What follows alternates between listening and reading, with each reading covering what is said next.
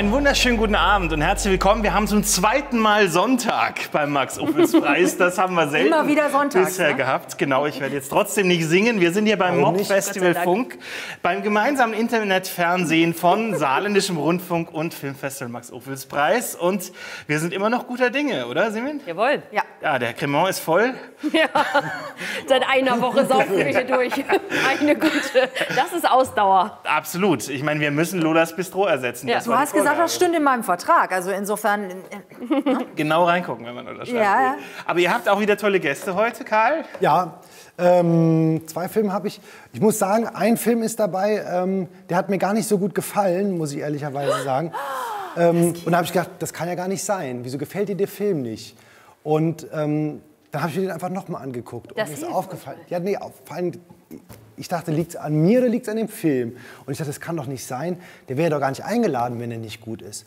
Und dann ist mir aufgefallen, als ich ihn geguckt habe, ähm, ich habe ihn gar nicht richtig geguckt. Ich habe ihn halt am Laptop zu Hause so irgendwie den dritten Kurzfilm einfach weggesnackt. Und dafür ist er nicht gemacht. Es ist ein Kinofilm. Und ähm, man muss sich drauf einlassen. Und den muss man eigentlich, glaube ich, auch im Kino unbedingt sehen. Ich habe ihn dann noch mal zu Hause in aller Stille geguckt. Und was soll ich sagen? Also diese Erfahrung hatte ich wirklich noch nie, jetzt auch nicht im, im, beim letzten Mal. Ich fand ihn bombastisch. Es ist ein wahnsinnig guter Film. echt, das ist aber ein großer Schritt. nee, also ich hatte das ähnlich Ja, mit meinem ja. heute. Ne? Also da habe ich auch erst gedacht, ja. Und dann ähm, haben hier so ein paar Kollegen gesagt, oh, das ist doch total schön. Und dann habe ich tatsächlich nochmal gesagt, ey komm, dann gucke ich ihn nochmal und dann sieht man nochmal ganz andere Sachen. Stimmt. Es ist irrsinnig gut. Also Overheim, ähm, ja, wirklich ähm, bombastisch. Es ist ein klassischer Kinofilm, der wirklich alle Sinne im Kino, ich habe ihn nicht im Kino gesehen, aber ich stelle es mir als ein unglaublich gutes Erlebnis vor, weil er unglaublich, also sowohl die, die, die, die, die, die wie sagt man, optischen Sinne als auch die akustischen, also ähm, sicherlich ein ganz großes Erlebnis und ich bin sehr neugierig auf das Filmteam, das aber erst später am Abend meines Wissens nach hier eintreffen wird, um über diesen Film Overheim zu sprechen. Vorher, und Sie sind auch schon da, freue ich mich auch sehr drauf, das Team von Ghost Island, Spielfilm hier im Wettbewerb. Äh, Brauche ich noch gar nicht so viel zu verraten, weil wir reden eh ja gleich. gleich dann drüber. Ja. Freue ich mich auf jeden Fall sehr drauf, auf beide Filme. Simin, du bist auch nicht alleine heute. Nee, ich habe einen Dokumentarfilm, äh, der, äh, ja, wie soll man das sagen, ein bisschen exzentrischer ist teilweise, weil komplett auf Bulgarisch. weil komplett auf Bulgarisch, aber ich ma mag den unheimlich gern. Der heißt Mayor Shepherd Widow Dragon und ähm, ich habe also ich habe mich in die Figuren da verliebt. Also die Leute, die wir da kennenlernen, sind ja reale Persönlichkeiten. Ich habe ganz viele Fragen und freue mich sehr, die alle gleich loszuschießen. Und dann noch einen Kurzfilm, nicht nur Körper heißt der. Und da bin ich auch sehr gespannt. Auch sehr viele Fragen will ich noch gar nicht zu viel verraten. Cool. Sonja, und bei dir? Äh, wie gesagt, ich war, äh, das war auch so ein, so ein der Film. Äh, wenn in einer Winternacht zwei Reisende. Oh, den habe ich aus Versehen geguckt. Und genossen hoffe ich. Ich habe zu Ende geguckt. Ja, also der, der Filmtitel ist nicht zu Ende erzählt. Warum, könnte man ja auch mal fragen. Ähm, Sind da drei Punkte? äh, nee, es, sind keine, es ist einfach nur so. Es hört einfach nur so auf. Ja. Und den hast du heute. Den habe ich heute und der ist so, so ganz magisch und, und ein kleines Märchen und auch mit einem kleinen Mädchen. Also, ja, ja also ähm, ich verrate jetzt einfach nicht mehr. Und wir werden uns heute auch mal die Bälle zuwerfen. Ich hörte davon. Ich wir hörte davon. werden heute mehr über Sonja Marx erfahren. Ja? Na, endlich. Endlich Na, geht's weiter. Karl Also, Holzhofen war schon dran, aber jetzt machen wir die Runde mal, den unangenehmen Teil mal voll weiter. Genau, und da freue ich mich natürlich sehr drauf. Ebenso habe ich tatsächlich heute mal wieder einen der nominierten Schauspieler, den Aram Tarafreshian von dem mittellangen Film Spit. Ein ganz toller Typ, der auch schon am Theater sehr erfolgreich ist, sogar schon Dozent an der Schauspielschule, muss man sich mal vorstellen, in jungen Jahren. Und äh, der wird zugeschaltet sein, das wird ganz cool. Und Das ist auch ein toller Film. ja, absolut. Da ist gibt's auch noch auch die. Hauptdarstellerin nominiert, die kommt dann morgen. Und äh, ja, noch jemand von euch quasi, der Oliver Hottong wird zugeschaltet sein. Der Arme ist ja äh, Projektleiter dieser Medienkooperation, hat aber seinen zweiten Impfdurchbruch und kann nur von zu Hause drücken. Armer Kerl.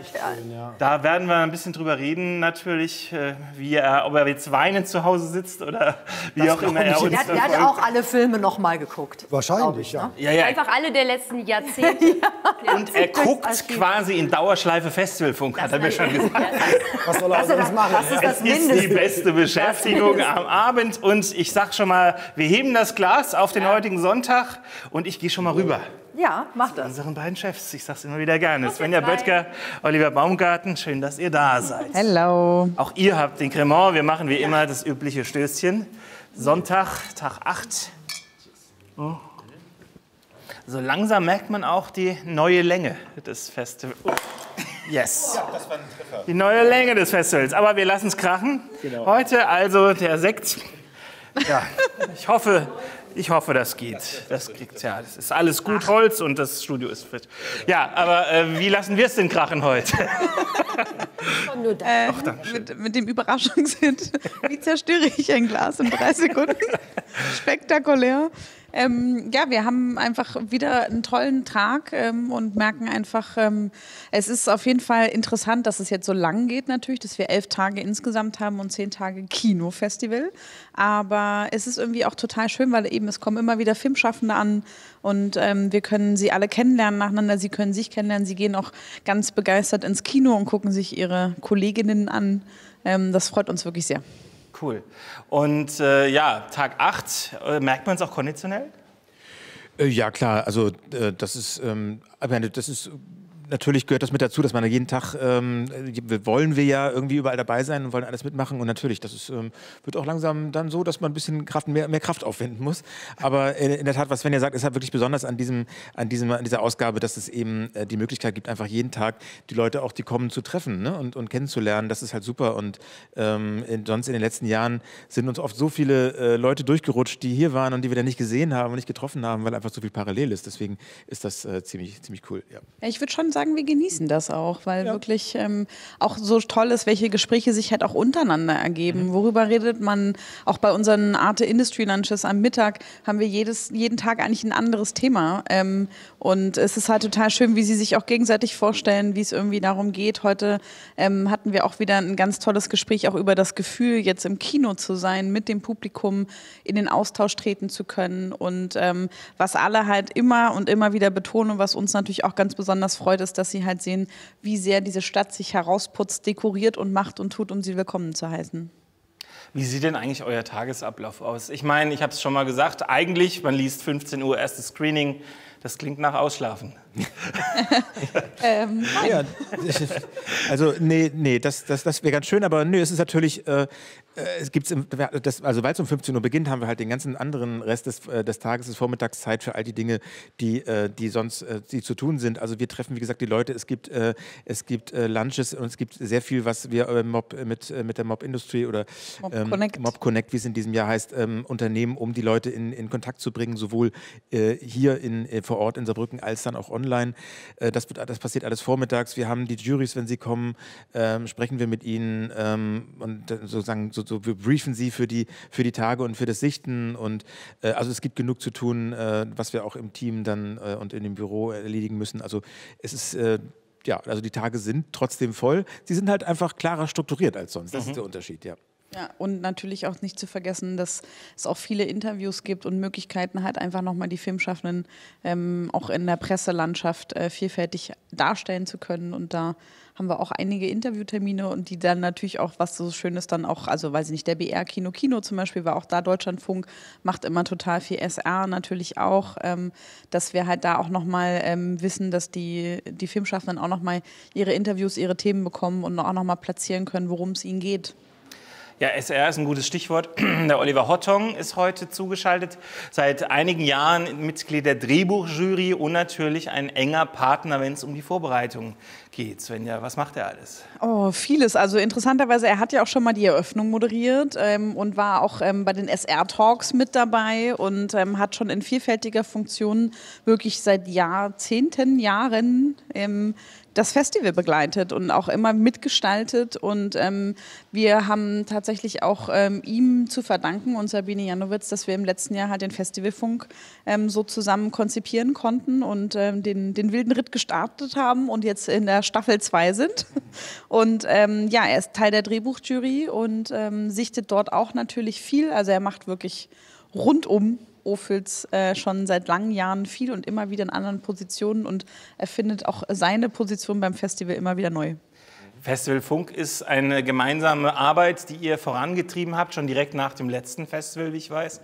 Und er hat mir verraten, also da gab es auch mal Pläne, das hier mit Publikum zu machen, Olli. ne? Ja, ja, das, das wäre dann, äh, wär dann der nächste Schritt ne, in der Entwicklung. Jetzt sind wir ja erstmal froh, dass wir sozusagen den Schritt von, äh, von ähm, ausschließlich ähm, über, über ja, Videokonferenztools äh, ähm, die Leute zuzuschalten, der Schritt hin zu, dass wir tatsächlich Gäste hier haben können. Und wer weiß, und vielleicht ist dann der nächste Schritt, wenn es möglich ist, wenn es die Lage, äh, die pandemische Lage zulässt, dann tatsächlich das mit Publikum zu machen, was natürlich nochmal wieder eine ganz andere äh, Charakter dem Ganzen geben würde. Ne? Gibt es da schon Pläne, Svenja? Ähm, ja, tatsächlich hatten wir ja überlegt, das ist ja, ähm, der Festivalfunk ist ja aus der SR Lounge, die wir im Cines da hatten und aus den SR Talks, die wir nachts immer im Lolas Bistro zusammen hatten, äh, für den Wettbewerb Spielfilm entstanden. Und wir natürlich gesagt haben, es ist nicht nur schön, das aufzuzeichnen und äh, natürlich im Internet ähm, auch anbieten zu können als Internetfernsehen, ähm, sondern dass wir natürlich auch ähm, einfach es schön fänden, wenn wir die Möglichkeit haben, ähm, Gästefragen auch dort nochmal einbringen zu können. Das war bei den SR-Talks im Lulas Bistro immer total schön, dass man dort auch nochmal ausführlicher reden konnte. Und da gab es natürlich ein Konzept, ähm, wo wir auch gesagt haben, es wäre toll.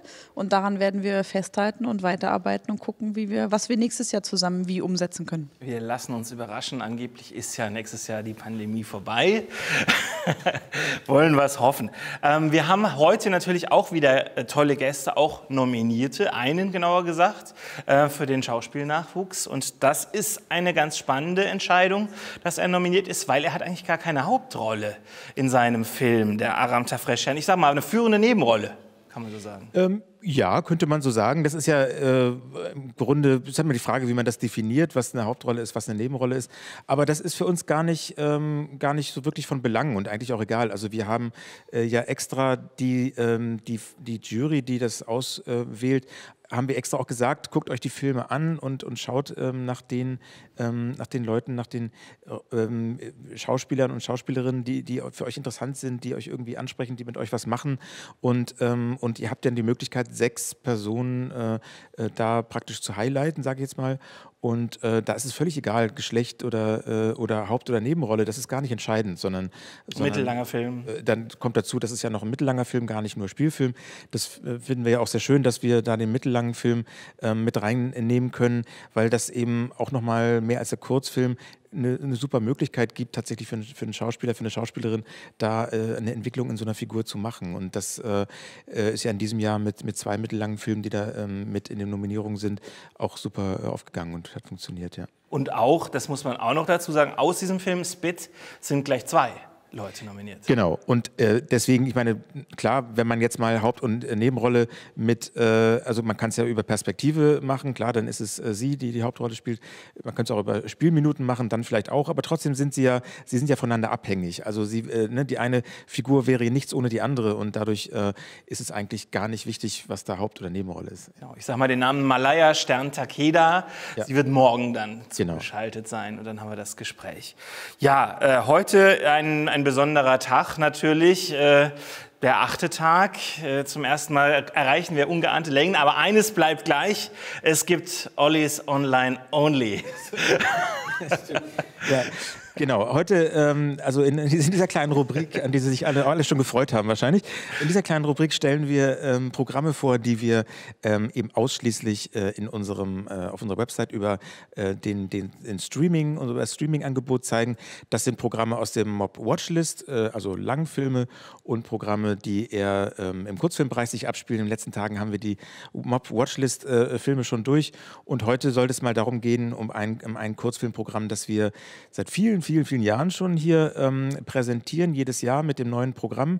Das ist ähm, das Kurzfilmprogramm vom äh, Programmatelier Ludwigsburg-Paris. Das ist eine, eine Fortbildungsprogramm oder Weiterbildungsprogramm äh, von zwei ähm, äh, Filmhochschulen, einmal der Filmakademie Baden-Württemberg oder Ludwigsburg und einmal ähm, der, der Filmschule in, in Paris. Der La Femis. Der La Femis in Paris, äh, La Femis, La Femis, ja, in Paris. Und ähm, das, äh, das heißt, dort, dort finden sich äh, immer zwei, äh, an, also Regie- und Produktionspärchen, sagen wir mal. Und die produzieren, das ist eben deutsch-französisch als Programm, die produzieren Kurzfilme und jedes Jahr ähm, entstehen dort äh, eine ganze Reihe. Dieses Mal sind es, sind es sechs. Ähm, das Oberthema heißt Gemeinsam allein. Und ähm, das äh, ist immer wirklich äh, sehr spannende, sind immer sehr spannende Filme, die dazu, zu diesem Oberthema entstehen. Und ähm, Alina Yklimova sehen wir da auch wieder. Das ist eine Regisseurin, die wir von der wir auch einen mittellangen Film im Wettbewerb haben, Störenfrieder. Sie hat dort teilgenommen an dem äh, Programm und ist dort mit einem zweiten Film vertreten in diesem Jahr. Also das ist der okay. Tipp. Okay, da sollte man reinschauen. Ich hoffe allerdings, gemeinsam allein ist nicht das Stichwort äh, für die Präsenzveranstaltung. Du bist ein, du bist ein Überleitungsgott. Äh, das ist wirklich, also ja. Svenja, wie, wie ist denn die Situation in den Kinos? Wir haben jetzt schon einige Tage hinter uns. Wird das Angebot wahrgenommen? Das Angebot wird wahrgenommen ähm, und was wir natürlich auch total toll finden, wir haben bisher immer noch mehr Kinotickets verkauft als Streaming-Tickets. Ähm, aber natürlich ist es ganz klar, wir sind mitten in der fünften Welle. Es ist Omikron. Ähm, ich denke, mittlerweile kann jeder von uns ähm, im Bekannten- und Familienfreundekreis ähm, zählen, ähm, dass es auf jeden Fall Leute gibt in Quarantäne, dass irgendwie Leute mit Kindern, mit den Kitas und so Probleme haben, sodass äh, wir auch wissen, dass ähm, die Kinos natürlich ähm, leerer sind, als es natürlich auch gewohnt ist. Und das war uns tatsächlich auch von vornherein klar, dass ähm, wir haben normalerweise eine sehr, sehr gute Kinoauslastung, ähm, dass das natürlich mitten im Winter ähm, nicht machbar ist. Aber worüber wir uns sehr freuen, ist, dass egal mit wem wir reden und welche ZuschauerInnen auch wirklich auf uns zu dazukommen. Ähm, sie sind halt total begeistert. Sie stellen tolle Fragen. Sie sind auch im Filmhaus oder in der Passage oder in der Kamera zugegen. Und ähm, es meint und es sieht leer aus, aber andererseits ist es auch eine Möglichkeit, natürlich in diesen Pandemiezeiten etwas anzubieten, was man halt in kleinen, sicheren Räumen zeigen kann. Und ähm, deswegen sind wir wirklich sehr zufrieden, wie es im Moment läuft, weil wir einfach froh sind, dass wir in den Kinos was zeigen können, dass die Leute es auf der großen Leinwand erleben können und dass es eben auch die Möglichkeit gibt, natürlich auch das Streaming-Angebot wahrzunehmen und ähm, merken auch, dass viele ZuschauerInnen sagen, die Mischung ist für sie auch total toll, dass sie sich ins Kino auch mal trauen, dass sie auch wollen, ähm, aber dass sie dann auch gerne nochmal einen Film ähm, online dazu sehen. Und ähm, es gibt trotzdem Leute, die sich auch Urlaub nehmen, was ich natürlich sehr schön finde, weil da haben wir auch lange drüber gesprochen, wird es Leute geben, die sich Urlaub nehmen, sonst ist das ja wirklich immer so etwas, ähm, was auch was Besonderes ist bei Max Ophüls. Und deswegen, wir sind zufrieden und wir wissen, dass es ähm, aber einfach dass wir jetzt mit vollen Seelen haben wir nicht gerechnet. Weil das ist, man muss ja auch ganz ehrlich sagen, das ist halt die Situation, das ist die Realität, vor der wir stehen. Das ist ähm, das, was äh, also äh, die ähm, Kultur in den vielen Bereichen, nicht überall, aber in gerade die Filmkultur, im filmkulturellen Bereich ähm, eben äh, die Realität ist. Momentan äh, sind die, äh, die Kinos ähm, äh, eben nicht äh, voll besucht zu 100 Prozent. Das funktioniert halt nicht. Und äh, deswegen kann man das auch nicht erwarten. Und das haben wir auch nicht erwartet. Und wir freuen uns wirklich über alle, die kommen. Und es ist wirklich eine, eine Stimmung, die, die wir, ähm, äh, ja, über die wir uns sehr freuen. Und wir haben uns für dieses System entschieden in diesem Jahr. Ähm, wir, haben, wir mussten es, ne, wir haben es wirklich äh, also wir wissen ja, wie diese Zeit funktioniert. Man kann im Grunde nichts, äh, man kann ja nicht mal die nächste Woche irgendwie richtig planen, ob man äh, irgendwie seine Familie ja. besuchen kann, weil du es nicht genau sagen kannst. Und wir mussten aber vor drei Monaten äh, eine, eine Großveranstaltung planen. Insofern ist das ist der Weg, den wir gegangen sind. Wir sind sehr, sehr froh damit und, äh, und freuen uns über alle, die da sind. Genau, wir werden nachher einen kleinen Einspieler sehen, den der Saarländische Rundfunk gemacht hat, wo auch ein paar der anwesenden ZuschauerInnen befragt werden. Da kriegen wir auch nochmal einen kleinen Einblick. Aber wir haben es schon gehört, gehört vorhin im Vorgespräch, es ist total wichtig, die Filme auf der großen Leinwand zu sehen. Ein Absolut. Film, der auf die große Leinwand kommt, der, äh, dazu wird es gleich ein Gespräch geben zwischen Karl und unseren beiden Gästen. Der Film heißt Ghost Island. Svenja, möchtest du überleiten? Genau, Ghost Island spielt bei uns im Wettbewerb äh, Spielfilm eine sehr große Rolle und wird Premiere haben heute Abend und ähm, Roman Tolani ist da und ähm, Karl, ich übergebe dir das Wort und wünsche dir mit beiden Gästinnen ähm, sehr, sehr viel Spaß und ein anregendes Gespräch. Da freue ich mich auch drauf und äh, ich darf noch ergänzen, der Kameramann Konstantin Kampian ist auch uns zugeschaltet ähm, via äh, gängiger Videoplattform, welche auch immer das jetzt ist, ist ja auch egal. Äh, und Roman Tulani ist da und die Hauptdarstellerin Salba Lee Williams. Und wenn ich es richtig weiß, seid ihr... Hi. Äh, hi, ja. Hallo. Hallo. Hallo. Willkommen im Festivalfunk. Und ihr seid auch jetzt schon ein paar Tage in Saarbrücken. Ihr habt das Festival schon mitgenommen, nur weil eben Svenja, Olli und Urs gerade so ein bisschen über die Kinosituation gesprochen haben. Wart ihr in den Kinos? Habt ihr es auch genießen können? Oder wie war es für euch? Also ich bin erst heute angekommen. Ah, okay, gut, dann ist es schwierig. Genau, ähm, Salva ist heute angekommen. Äh, äh, mein Kameramann und äh, Mitproduzent Konstantin und ich sind jetzt hier schon seit vier Tagen. Wir sind ein bisschen früher angereist, um äh, einfach ein paar Flyer zu verteilen und nochmal irgendwie die Saarländer darauf aufmerksam zu machen, vielleicht am Sonntagabend sich äh, Ghost Island anzuschauen. Und dabei haben wir auch ein bisschen über den Film erzählt. Okay. Und, äh, oder eben auch im, äh, über die Streaming-Plattform, das wäre ja die Alternative. Habt ihr aber selber die Gelegenheit gehabt, auch mal Filme zu gucken oder wart ihr so sehr mit eurem eigenen Film noch befasst? Ähm, also wir waren tatsächlich jeden Tag im Kino. Ah, okay, cool. Und wir haben alles angeschaut, was wir anschauen konnten und haben auch äh, fleißig gewotet und äh, ja. Cool. Jetzt reden wir aber über euren. Sorry. Film. Äh, Nee, Entschuldigung, ich wollte dich nicht unterbrechen. Nee, ich wollte nur sagen, bis jetzt äh, hab ich, haben wir nur schöne Filme und schöne Sachen gesehen. Und es war auch nach dieser langen Zeit ohne Kino einfach schön, wieder so viele schöne Sachen zu sehen. Aber, ja. Das kann ich mir gut vorstellen. Das ist von hier aus immer ein bisschen schwierig. Wir sind so gefangen im Festivalfunk. Äh, Da beneide ich euch tatsächlich ein bisschen. Aber jetzt reden wir über euren sehr schönen Film. Es mag für die einen ähm, eigentlich wie ein Traum klingen, eine komplett menschenleere Insel. Ähm, da kann man sich sicher gut gehen lassen. Ähm, es wird aber relativ schnell unserer Hauptfigur in diesem Film deutlich, ähm, dass da irgendwie das ein oder andere nicht so ganz normal ist auf der Insel. Wir schauen uns das mal ganz kurz in einem Ausschnitt an.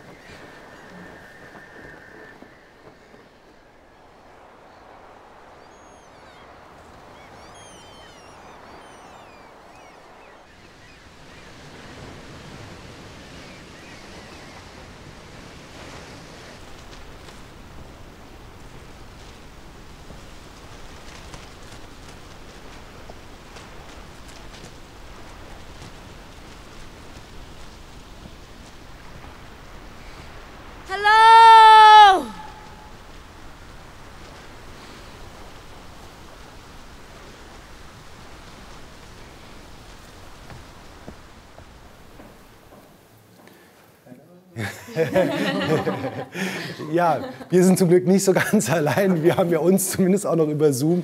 Ähm, Roman, ähm, du hast diesen Film entwickelt und ähm, unter anderem das Buch geschrieben und die Regie dazu gemacht. Und du hast gesagt, ähm, um überhaupt, ich interpretiere das mal so, korrigiere mich, wenn es falsch ist, um überhaupt zu sich selber zu finden, muss man irgendwie mit der Gewohnheit brechen. Und das ist ja natürlich der, der, der Gewohnheitsbruch par excellence, wenn du auf einer Ferieninsel, wo du Jubel, Trubel, Heiterkeit erwartest, das komplette Gegenteil der Fall ist. Wie genau ist das jetzt gemeint? Ähm, es ist in vielerlei Hinsicht gemeint, vor allem auch äh, was den Entwicklungsprozess und das Drehbuchschreiben an sich so anging. Ähm, ist es ja normalerweise die Gewohnheit, also ich, äh, ich komme ich, ich komm von der Filmhochschule, ich habe meinen Drehbuchmaster gemacht und ich kenne äh, den Business Casual sozusagen des Schreibens. In diesem Fall haben wir auch mit dieser Gewohnheit gebrochen, dass der Autor alleine da saß, sondern wir haben wirklich das Buch auch gemeinsam insofern entwickelt, dass wir sozusagen mit einem Story-Konzept, also mit seiner ersten Fassung, wirklich zur Insel gefahren sind. Und dann haben wir uns auf die Insel eingelassen und haben Locations gescoutet, auch gemeinsam mit den Darstellern und haben unsere, unsere Funde sozusagen, also die Locations und äh, die Besonderheiten in die Geschichte mit einbezogen. Und dabei war es total wichtig, dass auch wirklich alle, also Schauspieler wie auch die Kamera, sich da halt mit eingebracht haben. Insofern war das so ein gemeinsames Finden und ähm, ich hatte dann wie so eine Art äh, Showrunner, so ein Spielführer, so eine, so, eine, so eine leitende Phase und trotzdem hatte jeder auch ein Vetorecht.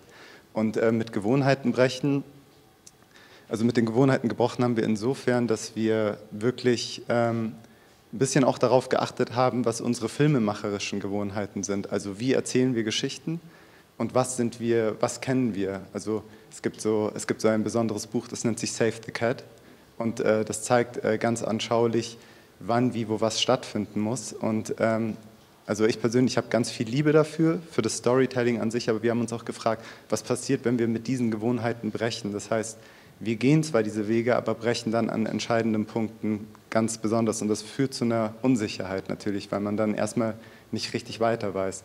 Und ein Konzept war es unter anderem, dass wir immer entgegen der ersten Idee gearbeitet haben, die uns gekommen ist. Und das galt für mich, das galt für die Hauptdarsteller, das galt für den Kameramann. Und äh, keine Regel ohne Ausnahme natürlich. Und äh, genau, so haben wir uns sind Okay. wir, ja, wir sind, Cool. Also das ist äh, sozusagen ein, ein multidimensionaler Ansatz, den ihr da auch quasi dann mit, mit als großes Team gegangen seid. Was war denn dann die erste Idee, die du verworfen hast? Also die dann, ja, Die erste Idee, die ich wahrscheinlich verworfen habe, war erstmal wirklich ähm, die, die Vorstellung davon, ähm, wie, wie man tatsächlich besetzt. Zum Beispiel war, äh, es, es gab ganz andere Vorstellungen von, wie die Figuren aussehen sollten und das konnte dann nicht stattfinden und das hat dann erstmal zu einem inneren Widerstand irgendwie geführt. Und da ging es dann darum, eher diese Widerstände anzunehmen und ich... Äh, ich, ich deute da so extrem drauf, weil das ja gewissermaßen auch ähm, die Situation bedingt, in der wir uns befinden. Das heißt, äh, ganz vieles, was normalerweise stattfindet oder stattgefunden hat oder unseren Vorstellungen entspricht, kann plötzlich so nicht mehr stattfinden. Und äh, auch wir Menschen in dieser Situation haben gar nicht die Möglichkeit, äh, daran was zu ändern, sondern wir müssen eher mit diesem Widerstand jetzt umgehen. meinst du das pandemisch jetzt? Also äh, das Pandemische, ja genau. Also wir haben das Äußere auch zu einem inneren Prozess gemacht. Das ist so die Analogie tatsächlich dazu. Das heißt eher das Umgehen mit dem, was nicht, was nicht sofort Nicht Ja. steuerbar ist. Ja, genau, genau.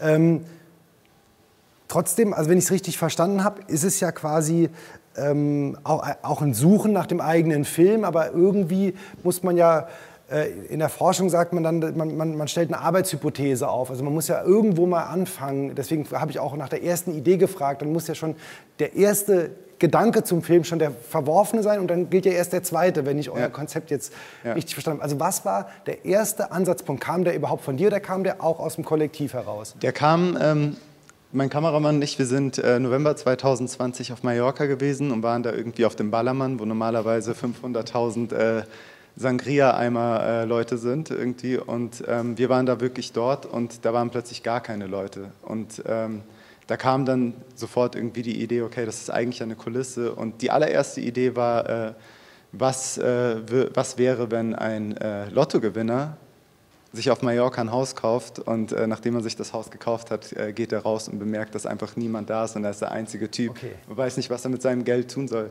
Das war die erste Idee und äh, die wurde dann relativ schnell verworfen, aber dass eine Person grundsätzlich auf der Insel alleine ist, das ist so ein ganz konkreter Ansatz gewesen. ja. Okay, aber die erste Idee ist eigentlich auch ganz cool, aber dann werdet ihr natürlich eure eigenen Regeln brechen müssen. Geht natürlich nicht. Ähm, Salber, wann bist du dazugekommen? Also die beiden haben auf Mallorca diese Idee erstmal gesponnen und wie bist du in das Projekt dann reingekommen? Weil du hast ja offensichtlich kein klassisches Drehbuch bekommen, weil da hätte wahrscheinlich eh auch nicht viel Text drin stehen können. Ja, genau. Also wir haben, äh, wir kannten uns schon vorher und dann haben die beiden mir gesagt, dass die einen Film machen wollten und ich habe ein Casting gemacht. Das war auch ohne Drehbuch, ein bisschen improvisiert und ähm, wir haben viel darüber eine Geschichte geredet, äh, dass also in diese Zeit um, um den Tod geht und also äh, Purgatory, in diese Zwischenzeit ähm, und ich hatte einfach Bock, Bock den Film mit, mit den beiden zu machen und es war ja langsam, Step by Step haben wir ein Drehbuch geschrieben und ja. Wie produziert man da jetzt oder wie geht man da vor? Weil du hast ja jetzt quasi keinen klassischen Drehplan, weil du ja permanent auf der Suche bist, permanent irgendwie die Story weiterentwickelst. Habt ihr einfach euch auf Mallorca eingemietet? Das ist Mallorca oder wo habt ihr gedreht? ja. Wir haben auf Mallorca gedreht. Konstantin? Ja.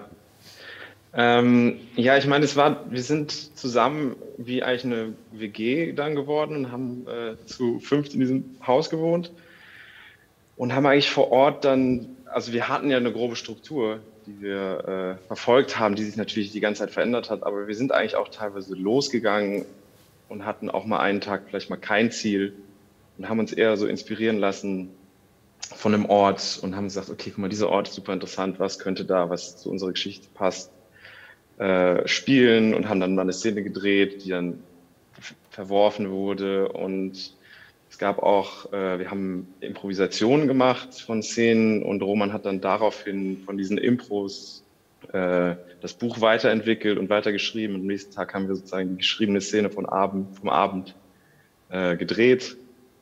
Und so ging es dann immer, wurde sehr viel diskutiert einfach. Und, äh, aber im Endeffekt ist da was Schönes draus geworden und wir haben auch irgendwann einfach unsere Linie gefunden, wie es dann sein soll. Also es wurde dann immer fließender eigentlich, mussten uns da auch reinarbeiten.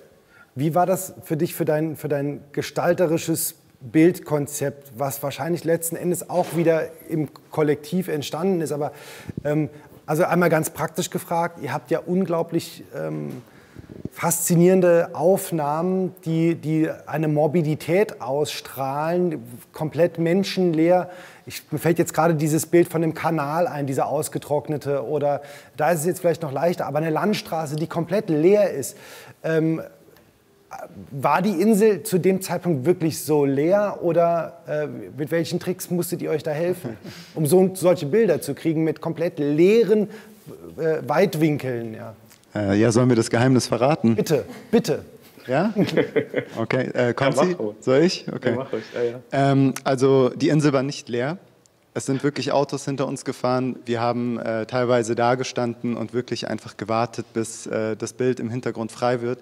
Und wir hatten auch eine, ähm, also ein ganz besonderes Kamerakonzept eben, dass wir wenig auf die Bewegung der Kamera, also wir haben, wir haben die Kamera nicht lo selten losgelöst vom Stativ und dadurch, durch diese Starre, hatten wir die Möglichkeit auch teilweise das Bild Zu bestimmen. zu bestimmen und wir konnten auch bestimmte Teile einfach ersetzen mit einem nicht bewegten Teil im Hintergrund zum Beispiel. Verstehst du? Ah, okay. Das ist, das okay. ist so ein, äh, es ist im Grunde, es ist einfach äh, ein, ein alter Filmtrick wahrscheinlich. Ja. Ähm, Ihr habt dabei eine unglaublich starke Bildsprache gefunden, wie ich finde, die äh, ja einmal, ich habe es eingangs gesagt, es ist eigentlich so der Traum, man ist irgendwie in einer, auf einer wunderschönen Insel. Diese Insel hat aber auch irgendwie was Kaputtes, was, was Raues, was Morbides. Ähm, und trotzdem habt ihr ähm, teilweise, vor allen Dingen die, die, eher wenn es in den Abend geht, sehr romantische Bilder gefunden, die dann auch von der Musik her natürlich noch ein bisschen verstärkt werden. Warum quasi dieses, diese Balance zwischen Morbidität und Romantik, sage ich mal? Liegt das nicht nah beieinander? Ja, es ist natürlich ein faszinierender Bruch, aber äh, er war ja Ähm, bei euch ich- auch sicherlich irgendwie äh, äh, motiviert. Ja.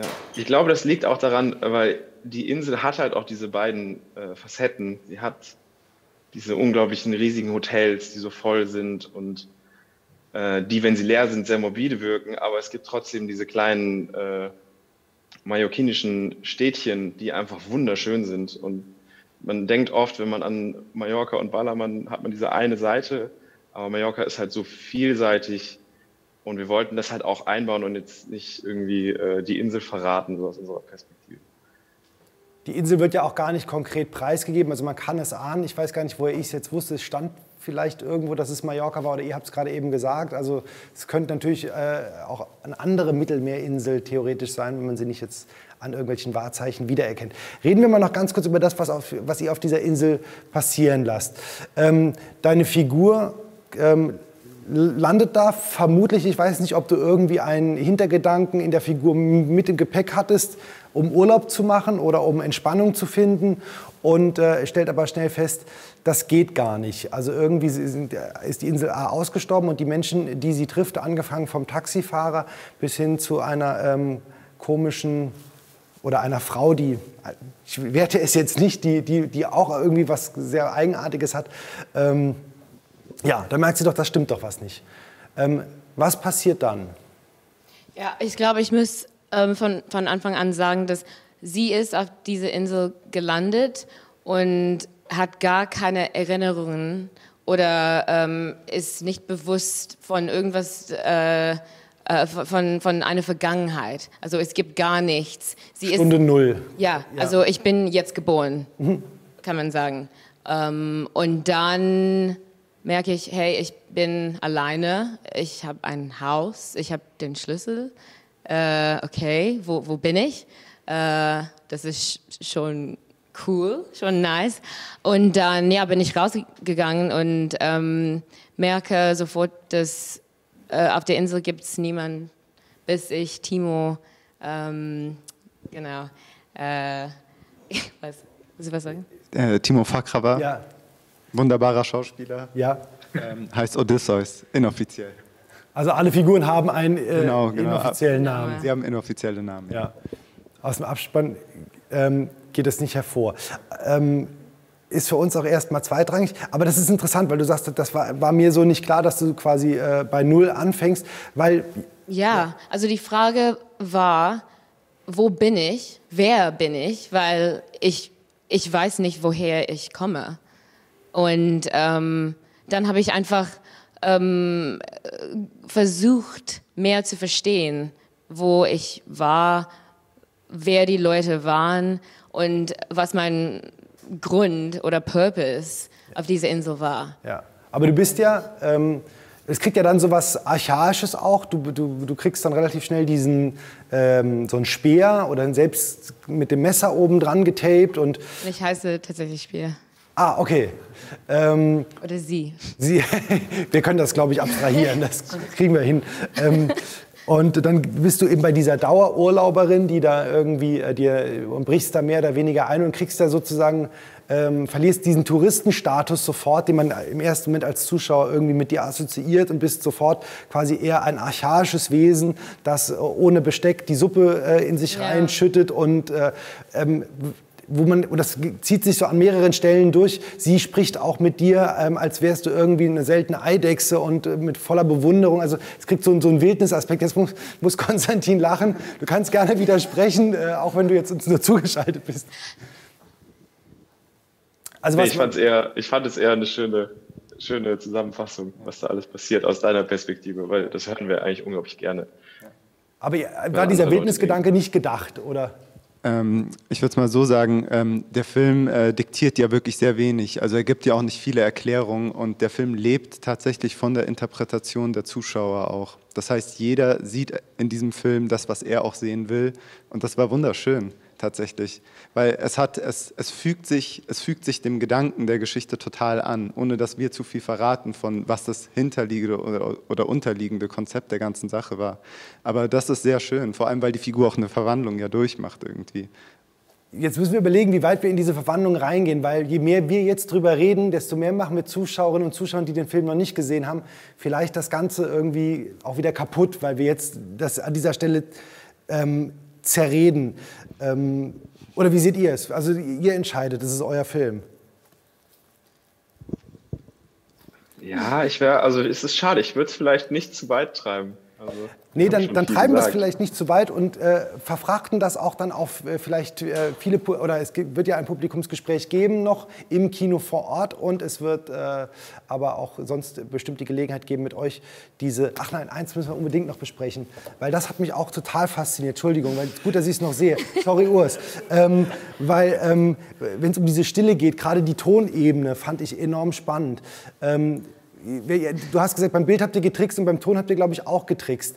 Was genau habt ihr an Set-Ton sozusagen gehabt? Wir hatten Set-Ton ähm, und äh, wir haben ganz viel Auslassung in dem Film. Also wir erzählen äh, großen Raum ohne Menschen, wir erzählen den Film ohne viele Worte, ohne viele Erklärungen. Und uns war es total wichtig, äh, diese Auslassung auch auf die Tonebene zu bringen. Und da hatten wir das große Glück, dass wir wunderbare Soundjungs hatten. Audiobox, Jonas Lechenmeier, Kai Unger, ich muss diese Namen nennen, weil sie einfach wirklich wenig äh, gesehen haben dafür. Auch unser begabter Musiker Lukas Mayfloor, die haben uns dabei geholfen, den Film zu 95 Prozent wirklich im Film nachzuvertonen. Und zwar insofern, dass wir eine totale Weite sehen, aber dann hören wir nur einen einzigen Baum rascheln zum Beispiel. Und äh, das war ganz wichtig, um auf der auditiven Ebene einfach nochmal so dieses sowie- sowieso abstruse Setting irgendwie zu unterstreichen oder nochmal mehr rauszuziehen. Genau, ja. Habe ich deine Frage beantwortet? Ja, sehr gut, sehr gut. Äh, hat mir geholfen und das, äh, ich finde, da haben wir auch nicht zu viel verraten. Jetzt gucke ich noch einmal zur Sicherheit hier drauf, ob es noch irgendwas ganz Wichtiges gab, was wir unbedingt besprechen mussten. Ich glaube es nicht. Ähm, ich will nur nichts vergessen. Nein, ich danke euch sehr, dass ihr da wart äh, und äh, wünsche euch viel Erfolg mit Ghost Island. Ähm, also ein wahnsinnig spannender Film und wir, jetzt haben wir, glaube ich, auch eine Menge dazugelernt und können den mit ganz wachen Augen sehen. Viel Freude Ihnen äh, bei Ghost Island und euch noch eine schöne Zeit hier in Saarbrücken. Danke dir. Wir danken euch. Ja, danke, Ja, dass wir hier danke sein euch. dürfen. Ja, sehr gerne. Urs, sorry, hat jetzt ein bisschen länger gedauert, aber so ist es manchmal. Ne? Du hast das hat Vorrang, wenn dann noch eine Frage rauskommen muss. Dann, das ist total wichtig. Nee, super. Er hat große Freude gemacht, euch zuzuhören. Ich wünsche euch viel Erfolg auch für den Film und den Start. Und ich habe jetzt heute einen Gast zugeschaltet, der nominiert ist für den Schauspielnachwuchspreis. Er heißt Aram Tafreschian und ja, da sehe ich ihn auch schon. Hallo Aram, grüße dich. Ich hoffe, du hörst mich auch. Hallo. Sehr gut, hallo. Ja. Äh, wo sitzt du denn gerade? Das sieht gemütlich aus. Äh, ja, das ist es auch. Äh, in Berlin-Neukölln. Äh, ah, ja. Da sitze ich in, äh, bin gerade mit meiner Freundin zusammengezogen in eine neue Wohnung. Deswegen Ach cool. Ja, also äh, geschmackmäßig finde ich, find ich sehr, sehr spannend. Hat so ein bisschen was auch äh, von uns. Wir haben auch so ein bisschen Wohnzimmeratmosphäre hier versucht zu schaffen in diesem Raum. Ich weiß nicht, ob du siehst. Ähm, aber ja, also das ist so leider natürlich, weil manche wie du jetzt eben nicht zu uns reisen können in diesen Zeiten, ähm, ist es trotzdem wichtig, dass wir miteinander sprechen. Erstmal herzlichen Glückwunsch zu dieser wundervollen Nominierung. Ähm, ähm, wenn man ja. liest, wenn man liest, Maria Schrader, Til Schweiger, Christiane Paul, Fritz Karl, Jakob Matschens, Liv Lisa Fries und viele andere haben diesen Preis schon bekommen. Was bedeutet es dir? Ja, Wahnsinn. Das ist natürlich irgendwie eine ganz große äh, Ehre. Das hat mich unglaublich gefreut. Aber auch nicht nur nicht nur irgendwie diese Namen, sondern ich hatte jetzt äh, das Glück, schon so ein paar Filme zu gucken. Ich habe Paradies zum Beispiel gesehen mhm. mit wirklich der ganz tollen Julia Windischbauer und äh, äh, eigentlich vier ganz, ganz großartigen Darstellerinnen. Und äh, ich fühle mich richtig geehrt, da in dieser Runde zu sein. Das ist richtig, äh, cool. wirklich sehr schön. Ja, es ist auf jeden Fall spannend. Ich finde es auch immer toll, wenn wir euch ein bisschen kennenlernen dann auf diesem Wege. Ich muss gerade mal sagen, das Bild in unserem Monitor ist ein bisschen klein, weil hier steht, dass deine Netzwerkbandbreite etwas niedrig ist aus Neukölln. Aber das ist halt Berlin. Im Saarland geht's, ja. Insofern. Ich könnte noch versuchen, ich könnte noch versuchen, hier auf mein Handynetz umzuschalten. Wir reden einfach weiter, würde ich vorschlagen, lieber Aram, ah, weil ja, es geht darum, wir sehen dich, äh, vielleicht nicht monitorfüllend, aber wir hören dich. Und ansonsten empfehle ich ja, dich zu sehen in Spit auf jeden Fall. Das ist der mittellange Film, für den du hier bist. Ähm, aber zuerst mal ein bisschen über dich als Person. Ähm, ich habe gelesen, geboren in Filderstadt.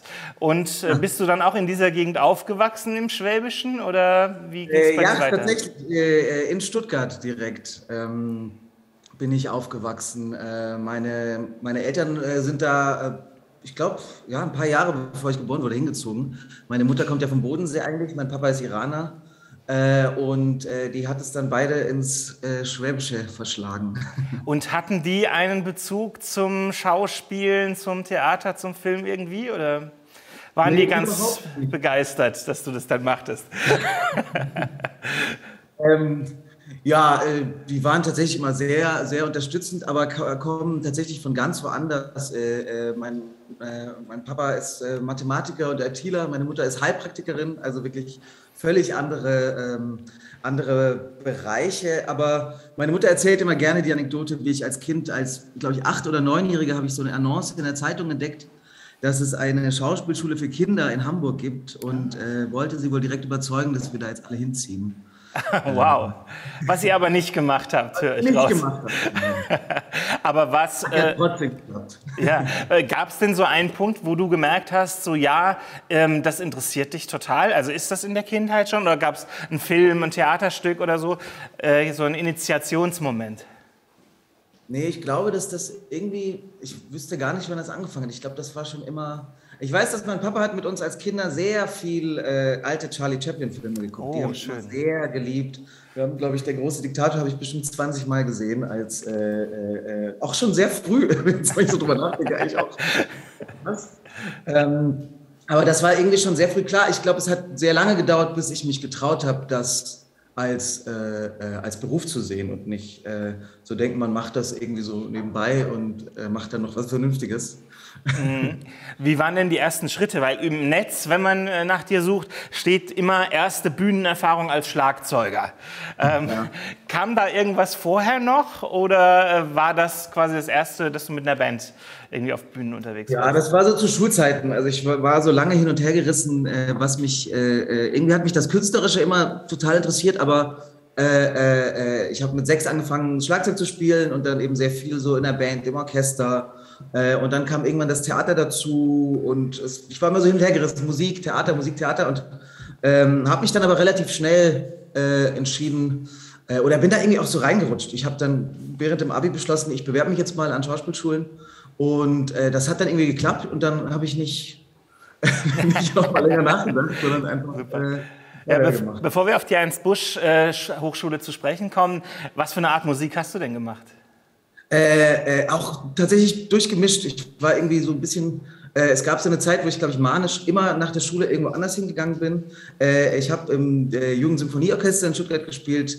Äh, äh, also klassische Musik, Pauke habe ich gespielt. Das war total schön, weil wir sehr viel äh, so Austauschprogramme hatten und sehr viel reisen konnten. Äh, äh, ich habe in der Big Band gespielt, äh, äh, ähm, also so sehr viel Jazz. Und wir hatten eine, ein Schlagzeugensemble, so eine Schlagzeugkombo mit unserer Schlagzeuglehrerin ähm, wo wir tatsächlich nur mit verschiedenen Schlaginstrumenten, das ist ja sehr, äh, sehr, eine sehr große Bandbreite, Ja, äh, gemacht haben. Ja, also total vielseitig eigentlich. Äh, merkst du, dass, du das, äh, dass dir das hilft heute beim Spielen, diese musikalische Schule quasi? Äh, ja, total. Also gerade, ähm, ähm, ähm, naja, ich habe tatsächlich, glaube ich, da schon einfach so, also mit diesem Schlagzeugensemble standen wir, da war ich, glaube ich, sieben oder so, dass ich das erste Mal da auf der Bühne stand. Ähm, das, äh, das, das hat bestimmt so eine gewisse Selbstverständlichkeit mitgebracht, äh, äh, ähm, dass man das irgendwie gerne macht und das irgendwie auch schön findet und da nicht äh, äh, äh, zumindest nicht so krass gestresst ist, wie, man es sein könnte. Ähm, und natürlich so ein Rhythmusgefühl und so ein musikalisches. Gefühl. Ich glaube, ich denke da auch, äh, äh, ähm, wenn ich an so, eine, an so eine Figur oder an so Sprache rangehe, sehr, ähm, äh, äh, sehr rhythmisch. Ja, toll.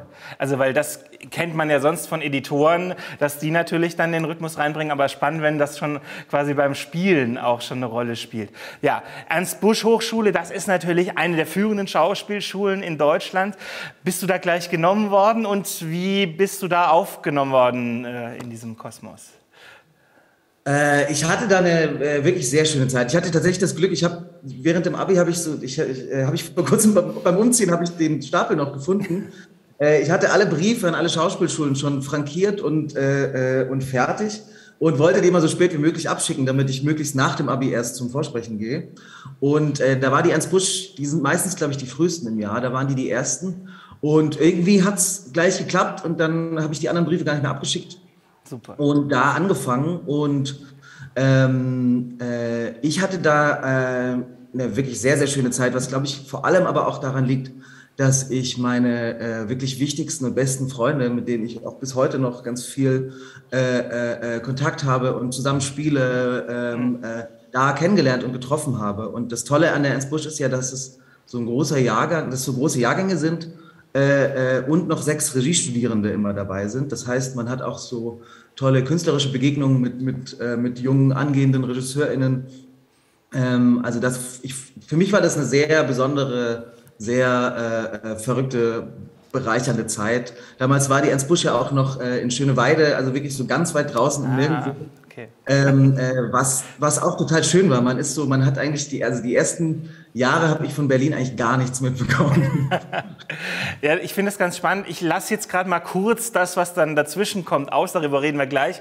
Aber du bist jetzt Dozent an der Ernst Busch, habe Ja. ich gelesen. Also das finde ich einen ganz spannenden Bogen, in jungen Jahren da jetzt schon gelandet zu sein. Ähm, was, was unterrichtest du dort?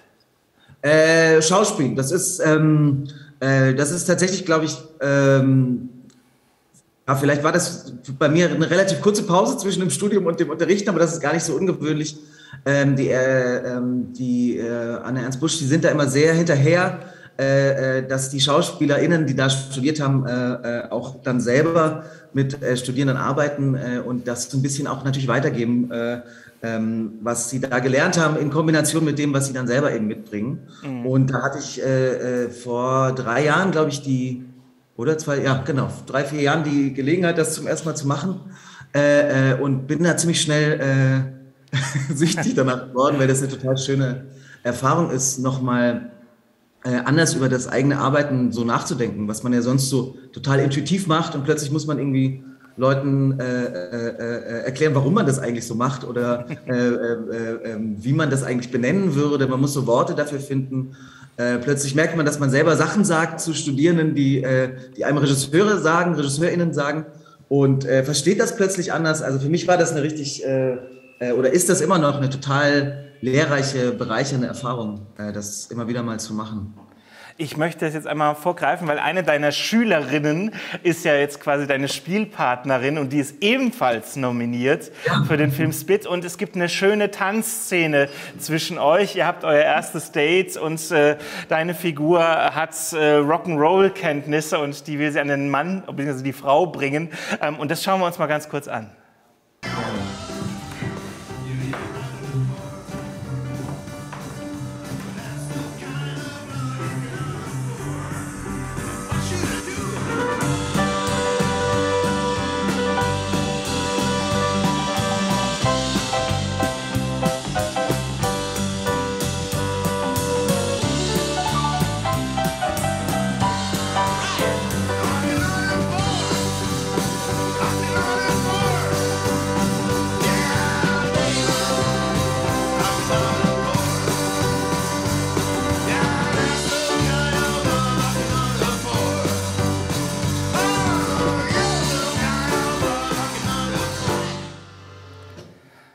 Ja, eine tolle Szene, wo du deine musikalischen Talente auch schon anbringen konntest.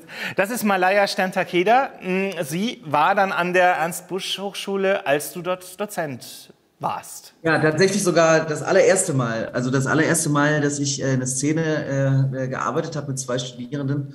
Äh, da war sie eine davon und äh, das war wirklich eine ganz besondere Begegnung. Äh, uns verbindet seitdem, glaube ich, eine sehr enge, auch eben künstlerische Freundschaft. Wir haben dann nochmal an der, an der Hochschule zusammengearbeitet, dann diesen, ähm, diesen Film zusammen gemacht und äh, im letzten Jahr dann sogar, ähm, ich hatte ja die Gelegenheit, letzten Sommer in Cottbus zum ersten Mal äh, eine eigene Regie machen zu dürfen. Am da hat sie ne? äh, alleine die, ähm, äh, da hat sie alleine einen Soloabend gestemmt, zwei Stunden lang äh, Richard den Dritten gespielt, was sie wirklich unglaublich toll gemacht hat.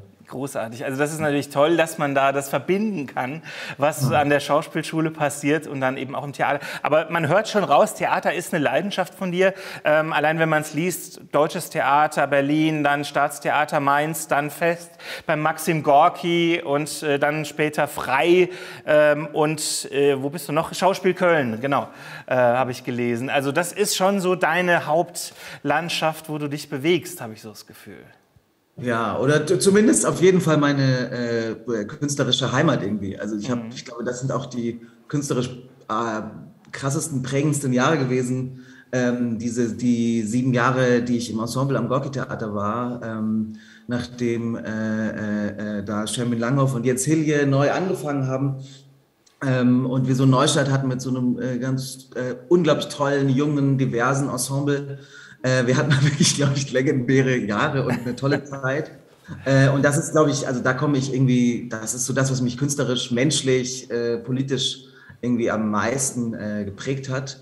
Ähm, und äh, genau, jetzt seit zwei Jahren äh, habe ich beschlossen, dass ich aber gerne auch sehr viele andere unterschiedliche Sachen machen möchte und gemerkt, wie sehr einen das so bereichert und bin da immer noch am Gorki, aber eben nicht mehr fest, sondern als Gast. Super.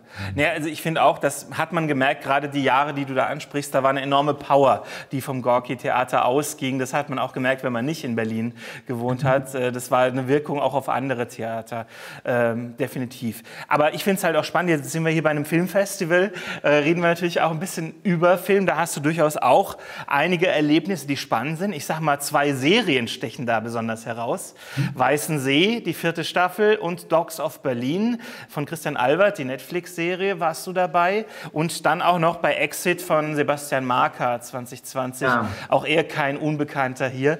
Ähm, wo ist da für dich der Hauptunterschied, wenn du dann mal beim, also vor der Kamera stehst?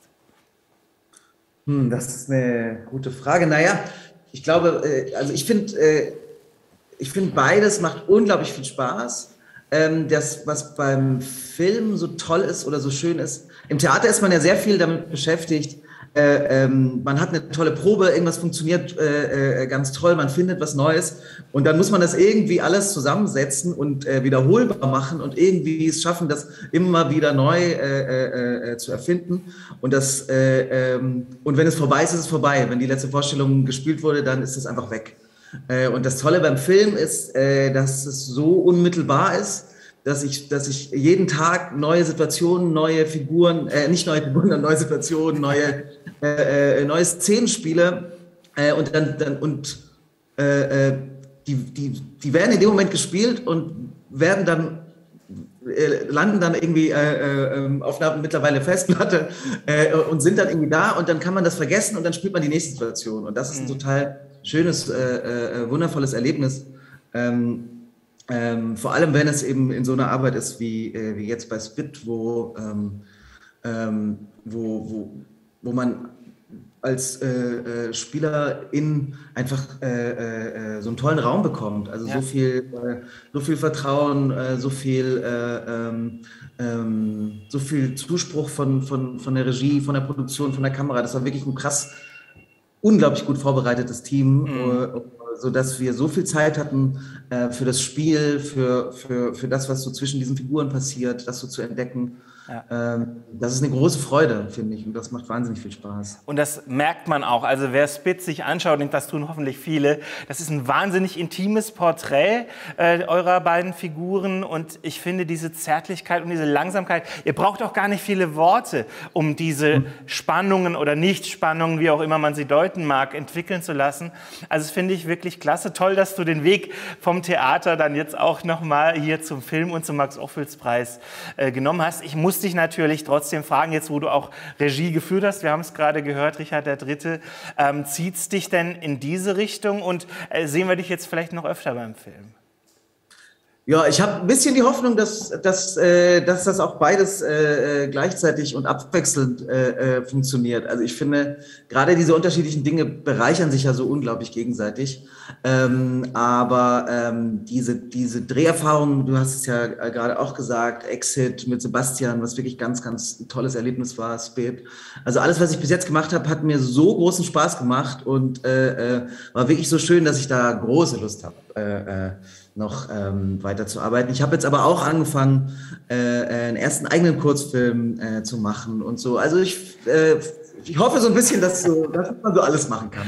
Super. Also wir hoffen, dass du dann auch mit, deinem, äh, mit deiner ersten Kurzfilm-Regiearbeit dann auch live hier beim Offels-Preis bist, dass wir dann in Lolas Bistro dann hoffentlich auch mal in echt wieder anstoßen können. Wir drücken dir wie allen anderen fünf erstmal die Daumen für den Preis und Dankeschön für diesen tollen Film Spit.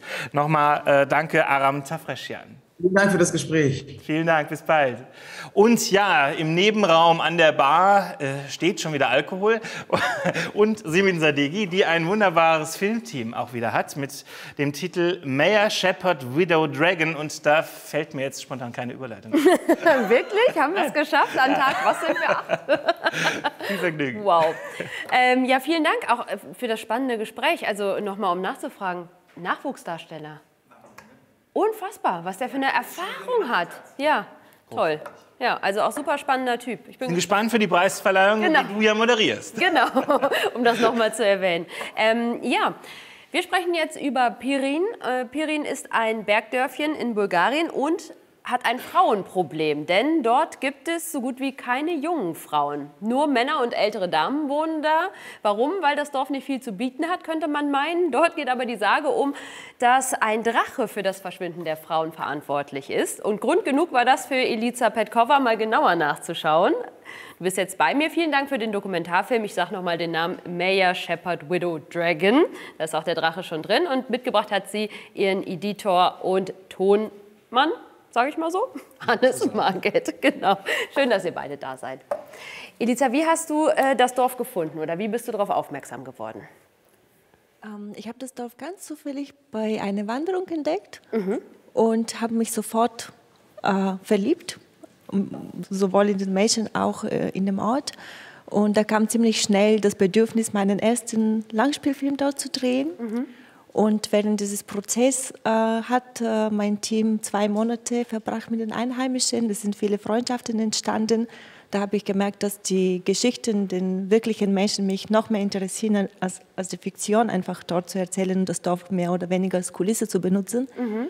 Und so kam auch äh, die Idee, einen Dokumentarfilm dort zu drehen. Dann sind wir zurück und Und los ging's. Aber war es tatsächlich so, wie ich mir das vorstelle, du bist da durchgewandert und dann auch gleich mit den Leuten ins Gespräch gekommen? Also klar, du bist selber aus Bulgarien, die Sprache hilft dann auf jeden Fall mal. Aber waren sie alle gleich so, ja klar, wir erzählen dir alles? Die waren wahrscheinlich froh, dass einfach eine junge Frau da war, oder?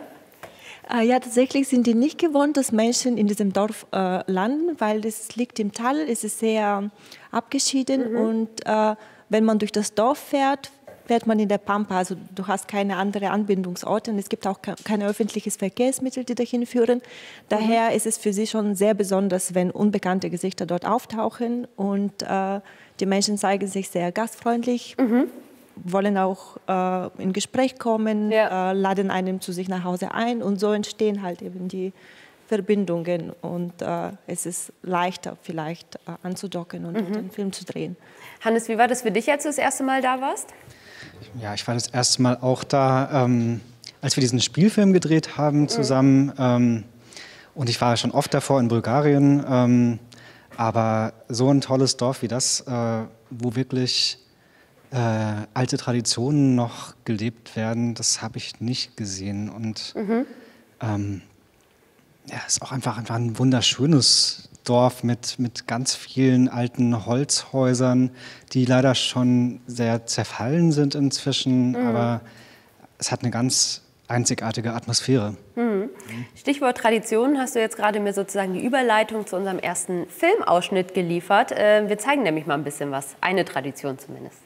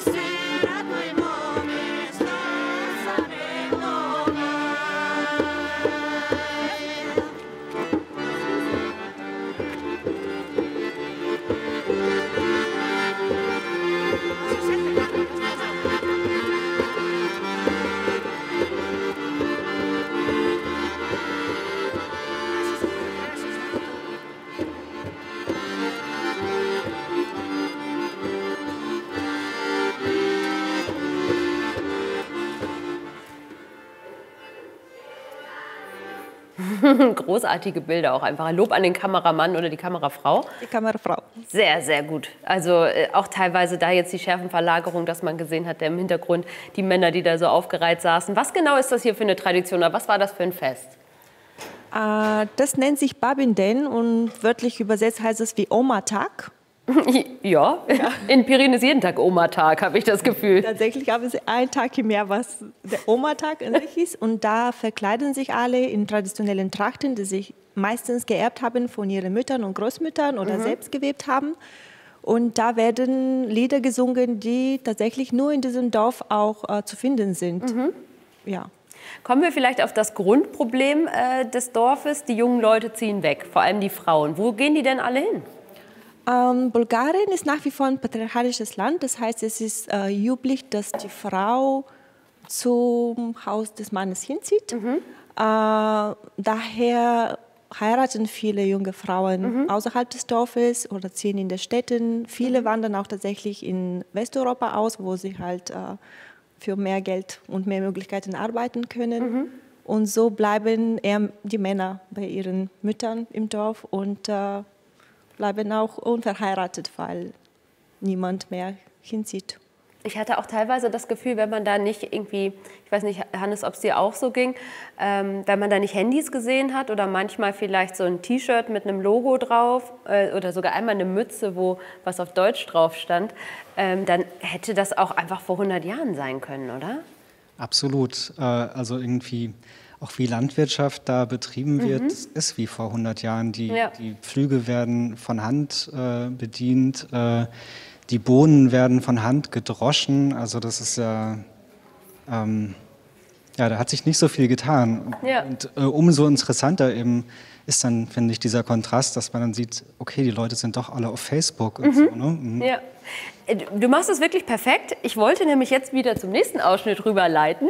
Und da äh, sehen wir nämlich den Alltag, äh, den du uns ganz, ganz viel zeigst. Den Alltag der Dorfbewohner und Bewohnerinnen ähm, bei der täglichen Arbeit auf dem Feld, beim Schafehüten oder wenn sie äh, die Bohnen schälen.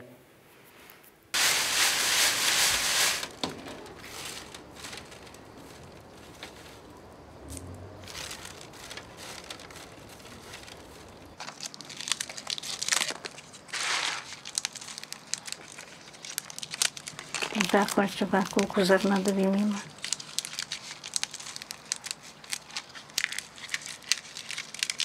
Дванадесет.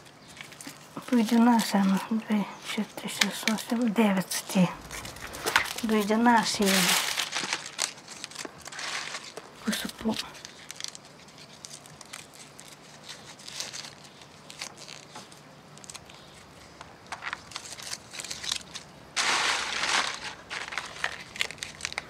pawełbów.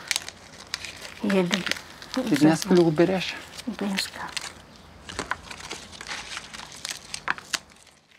Ich muss sagen, die beiden mag ich besonders gerne. Vor allem, äh, er wohnt bei seiner Mutter, also es sind Mutter und Sohn, muss man dazu sagen. Und ähm, ich finde, die Mutter ist so richtig schön abgeklärt.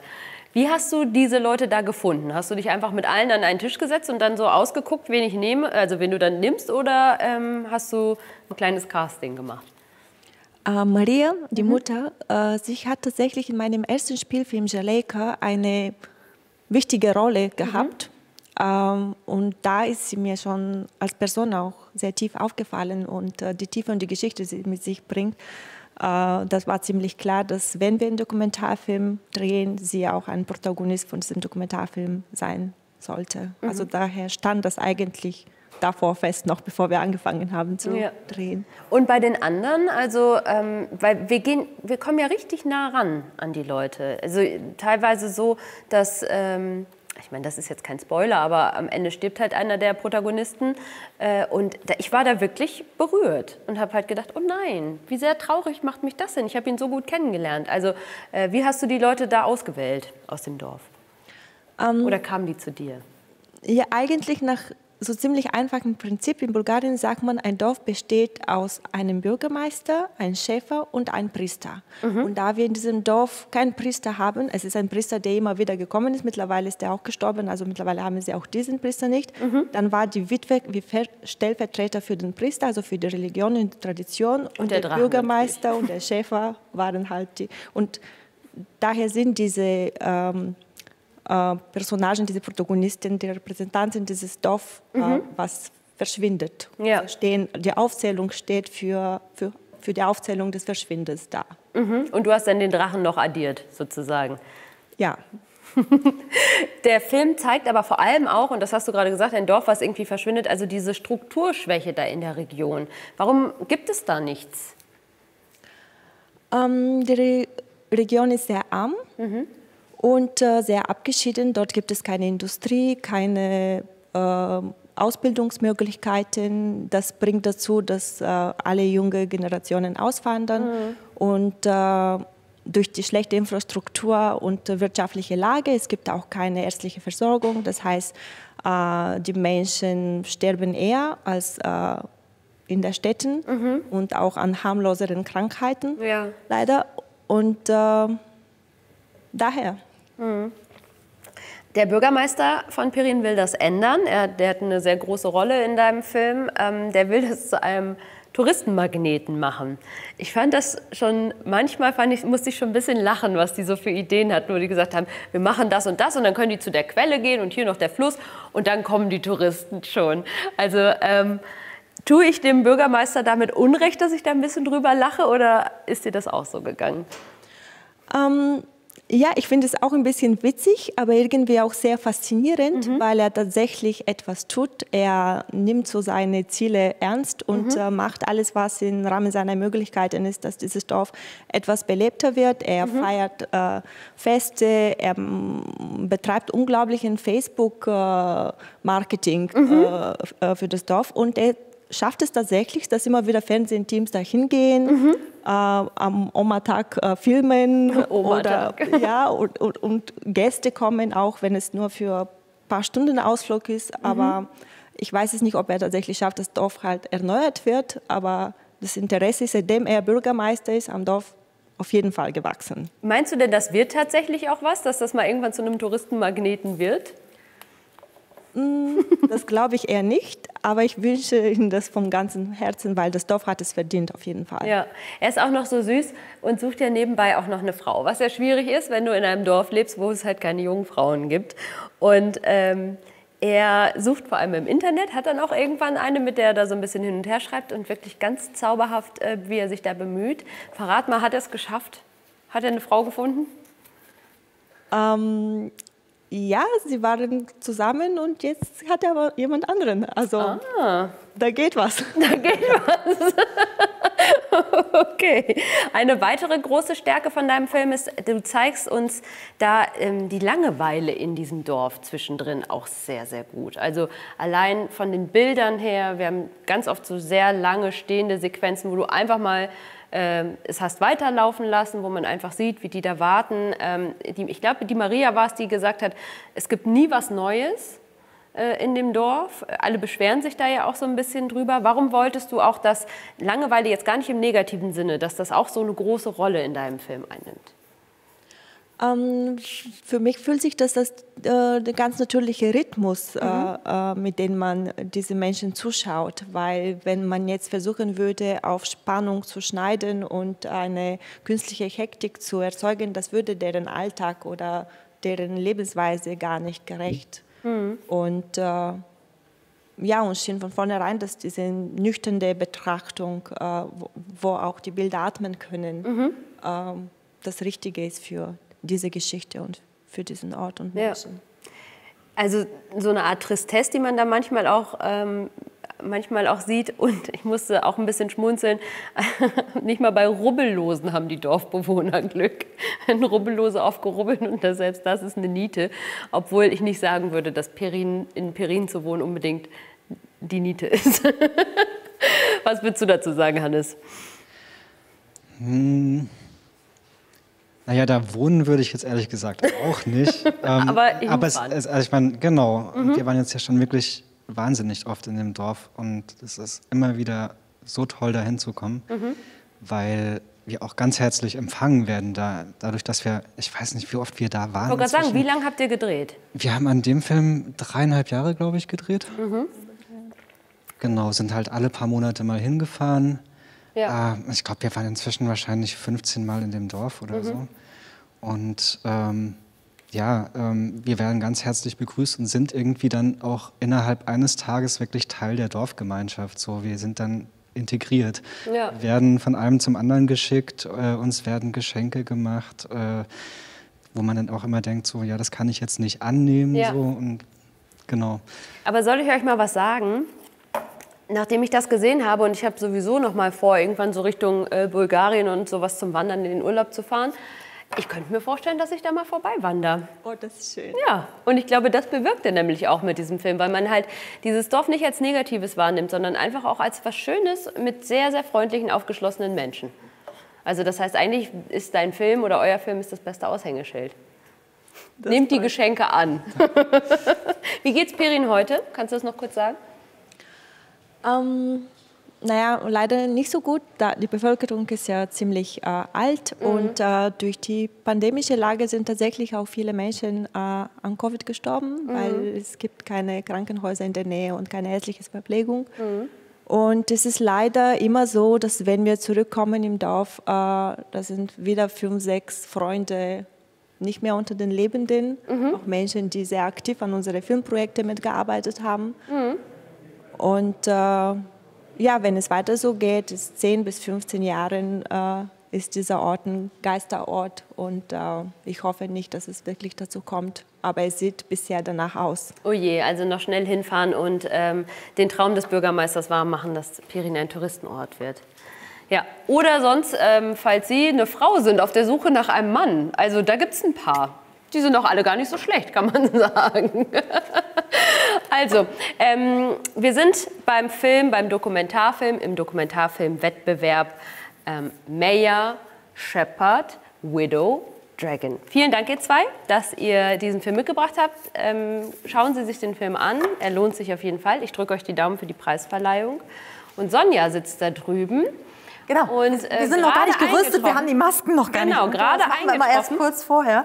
Mit zwei Gästen. Genau so ist es. Und wir haben ähm, einen Kurzfilm, äh, der heißt Wenn in einer Winternacht zwei Reisende. Stimmt. Ich habe mich so heißt er. Da kommt nichts mehr. Das ist so. Frage ich auch gleich äh, Sarah Summer, die Regisseurin, die bei mir ist. Und ihr Bruder Robin Summer ist auch da. Schön, dass ihr da seid. Herzlich willkommen beim Festival Box Office Preis. Ähm, Sarah Summer, den Namen, den könnte vielleicht der eine oder die andere von euch schon mal gehört haben, denn sie war 2019 bei der Berlinale im Forum mit einem Spielfilm äh, The Last to See Them auf Italienisch. Gli ultimi a vederli vivere. Hätte ich nicht so schön sagen können. ähm, und da geht es um eine Familie in Italien, die bereitet sich auf die Hochzeit der Tochter vor, nicht wissend, dass äh, sie gerade den letzten Tag in ihrem Leben ähm, erlebt. Äh, Die ZuschauerInnen wissen das aber. Und, also es war ein ganz spannender Film, ganz, ganz interessanter Film, der auch sehr erfolgreich auf Festivals gelaufen ist. Deswegen erwähne ich das nur mal, weil äh, dann wissen vielleicht manche dann auch schon mal, ah, die ist das. Genau, jetzt hier aber mit einem Film beim Filmfestival Max Ophüls Preis, der dagegen eher sowas wie eine kleine Fingerübung ist. Wenn in einer Winternacht zwei Reisende, da geht es um einen Vater und der ist mit seiner Tochter in einem klapprigen Auto unterwegs, ähm, bremst ganz plötzlich. Das Auto kommt nicht mehr hoch, wirkt ab und ist äh, kaputt. Und das ist die Gelegenheit für einen gelangweilten Polizisten in der Nacht.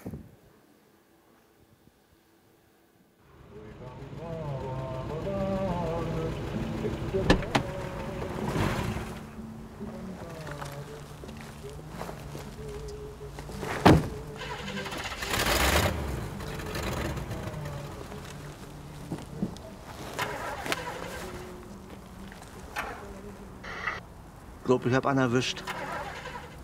Oh, noch eine alte Schrottkarre. Jetzt gibt's Ärger. Heinz, was sagt eine Kuh zum Polizisten? Heinz?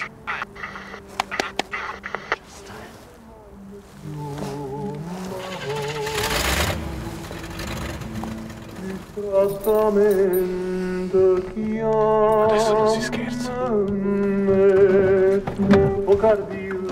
Haben Sie das gesehen? Auf dem Nist? Einfach so. Ich konnte nicht malen.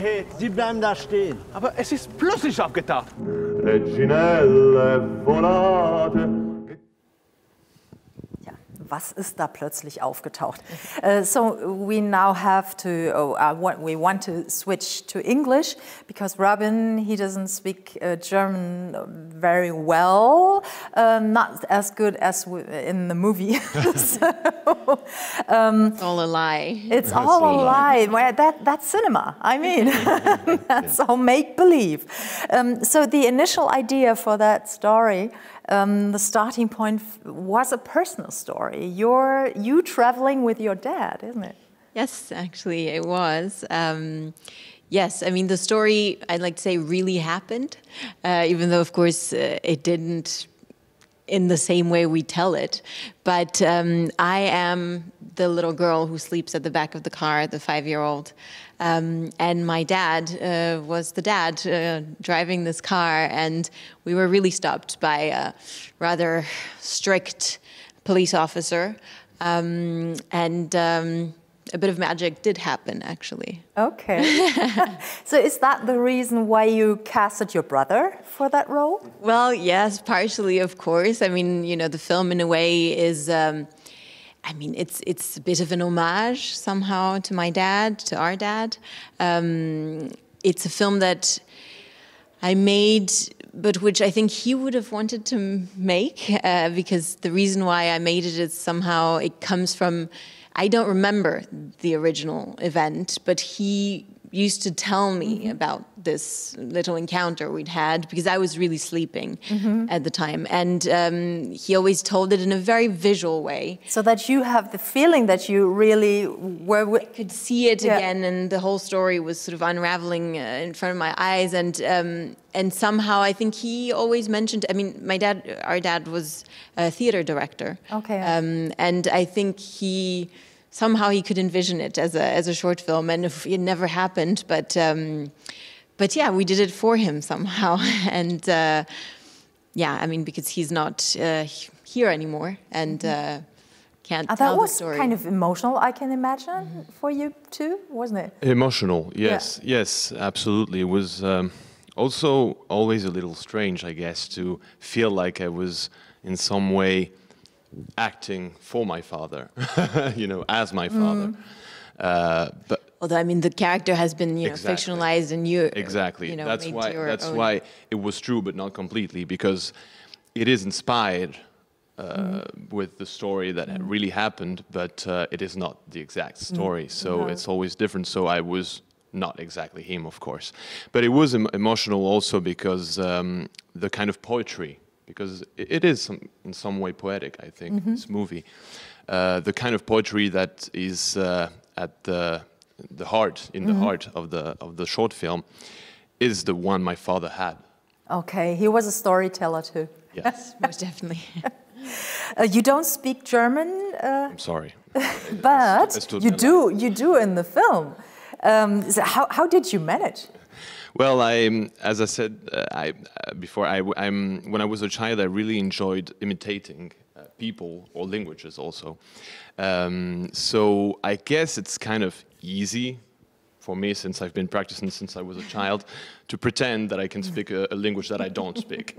Uh, also, my father actually used to uh, work with um, with a, a theater director also before that invented this kind of technique where you can pretend that you're talking a language, that you're speaking a language that you have absolutely no um, idea of. You know, Yeah. just just pretend to. It's called gramlo, gramlot in Italian. Okay. And uh, so I guess that also helped in some way, you know.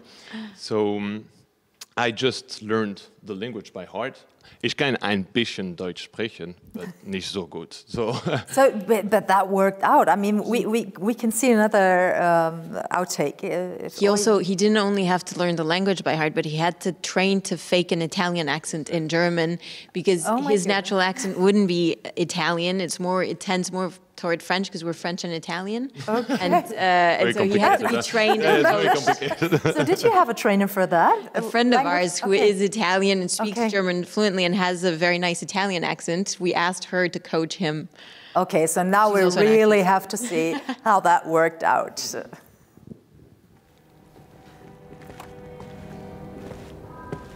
Am nächsten Morgen merke ich, dass meine Taschenlampe nicht mehr da ist.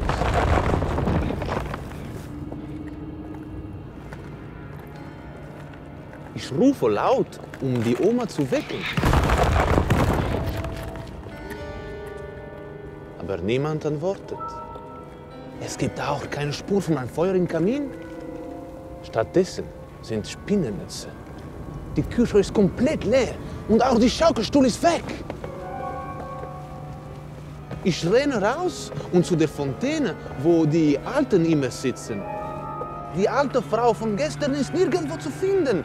Also ich will nachfragen, ja, aber plötzlich fangen die, die Kirchenglocke zu läuten. Nicht für die Uhrzeit, sondern für eine Beerdigung. Very good. Dankeschön, das war sehr kompliziert. ah, wow. So we can continue in German. ja, ja, wir können. So this this is actually uh, the story he's telling is the second story in the film and the second ghost story kind of, but we won't uh, uh, tell too much. But um, that was a given subject that it had to be a ghost story, wasn't it? Yes, I mean the film has been um, made in co-production with the RBB, um, and they had uh, set sort of a, a topic um, which was urban ghost stories.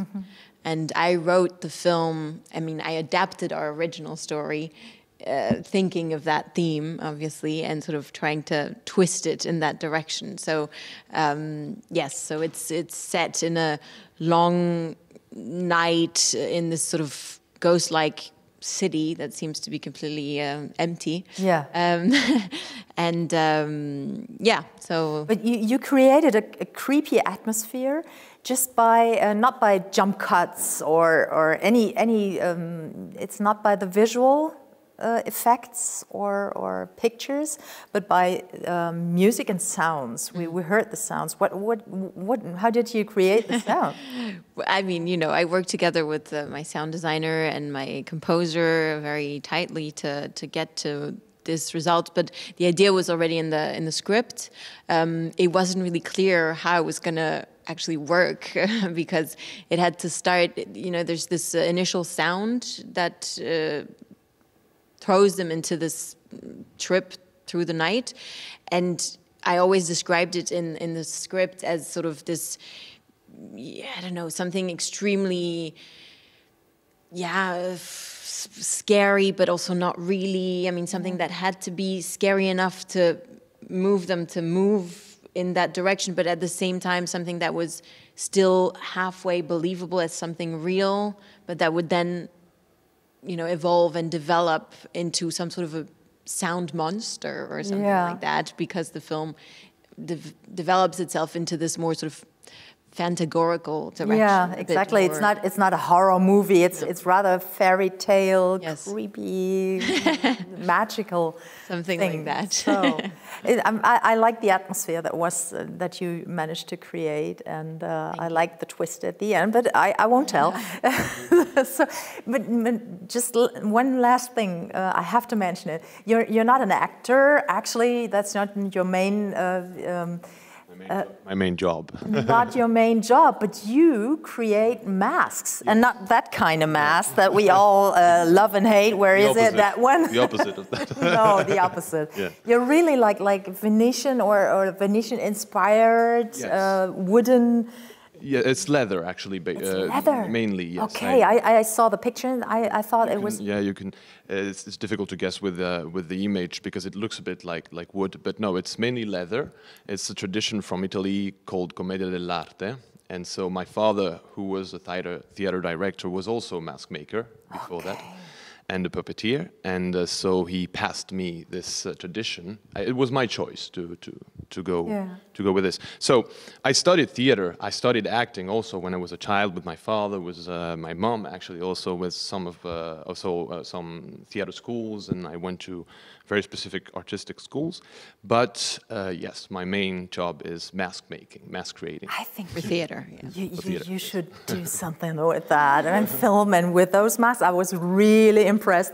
So um, thank you for, for coming here and very presenting your, your short Thank you. film. Thank you very and much. uh, We're very happy to be here. It's a great uh, opportunity for the film. Yeah, I'm uh, keeping my fingers crossed. And äh, äh, gehen Sie mal, geben Sie einfach mal im, im Google einen Robin-Summer und ähm, Maskera oder einfach nur Masken. Sie werden es finden. Es ist in Neapel und ähm, sehr faszinierend. Wirklich noch ein Tipp ganz zum Schluss. Ich ähm, gebe jetzt weiter an Urs. Der steht an der Bar und hat ähm, Oliver Hotton zugeschaltet. Ja, vielen Dank, liebe Sonja. Und bevor Oliver Hottung tatsächlich zugeschaltet ist, haben wir Johann Kunz äh, noch einmal in die saarländischen Kinos geschickt, um einen kleinen Einblick zu erhalten, was dort eigentlich gerade passiert. Sind dort viele Menschen und wie finden die das Ganze? Gerade beim Max-Ophüls-Preis, dezentral und hybrid. Also Mats ab. Das Cinestar am späten Mittag. Das Max-Ophüls-Programm um 15 Uhr kann gleich starten.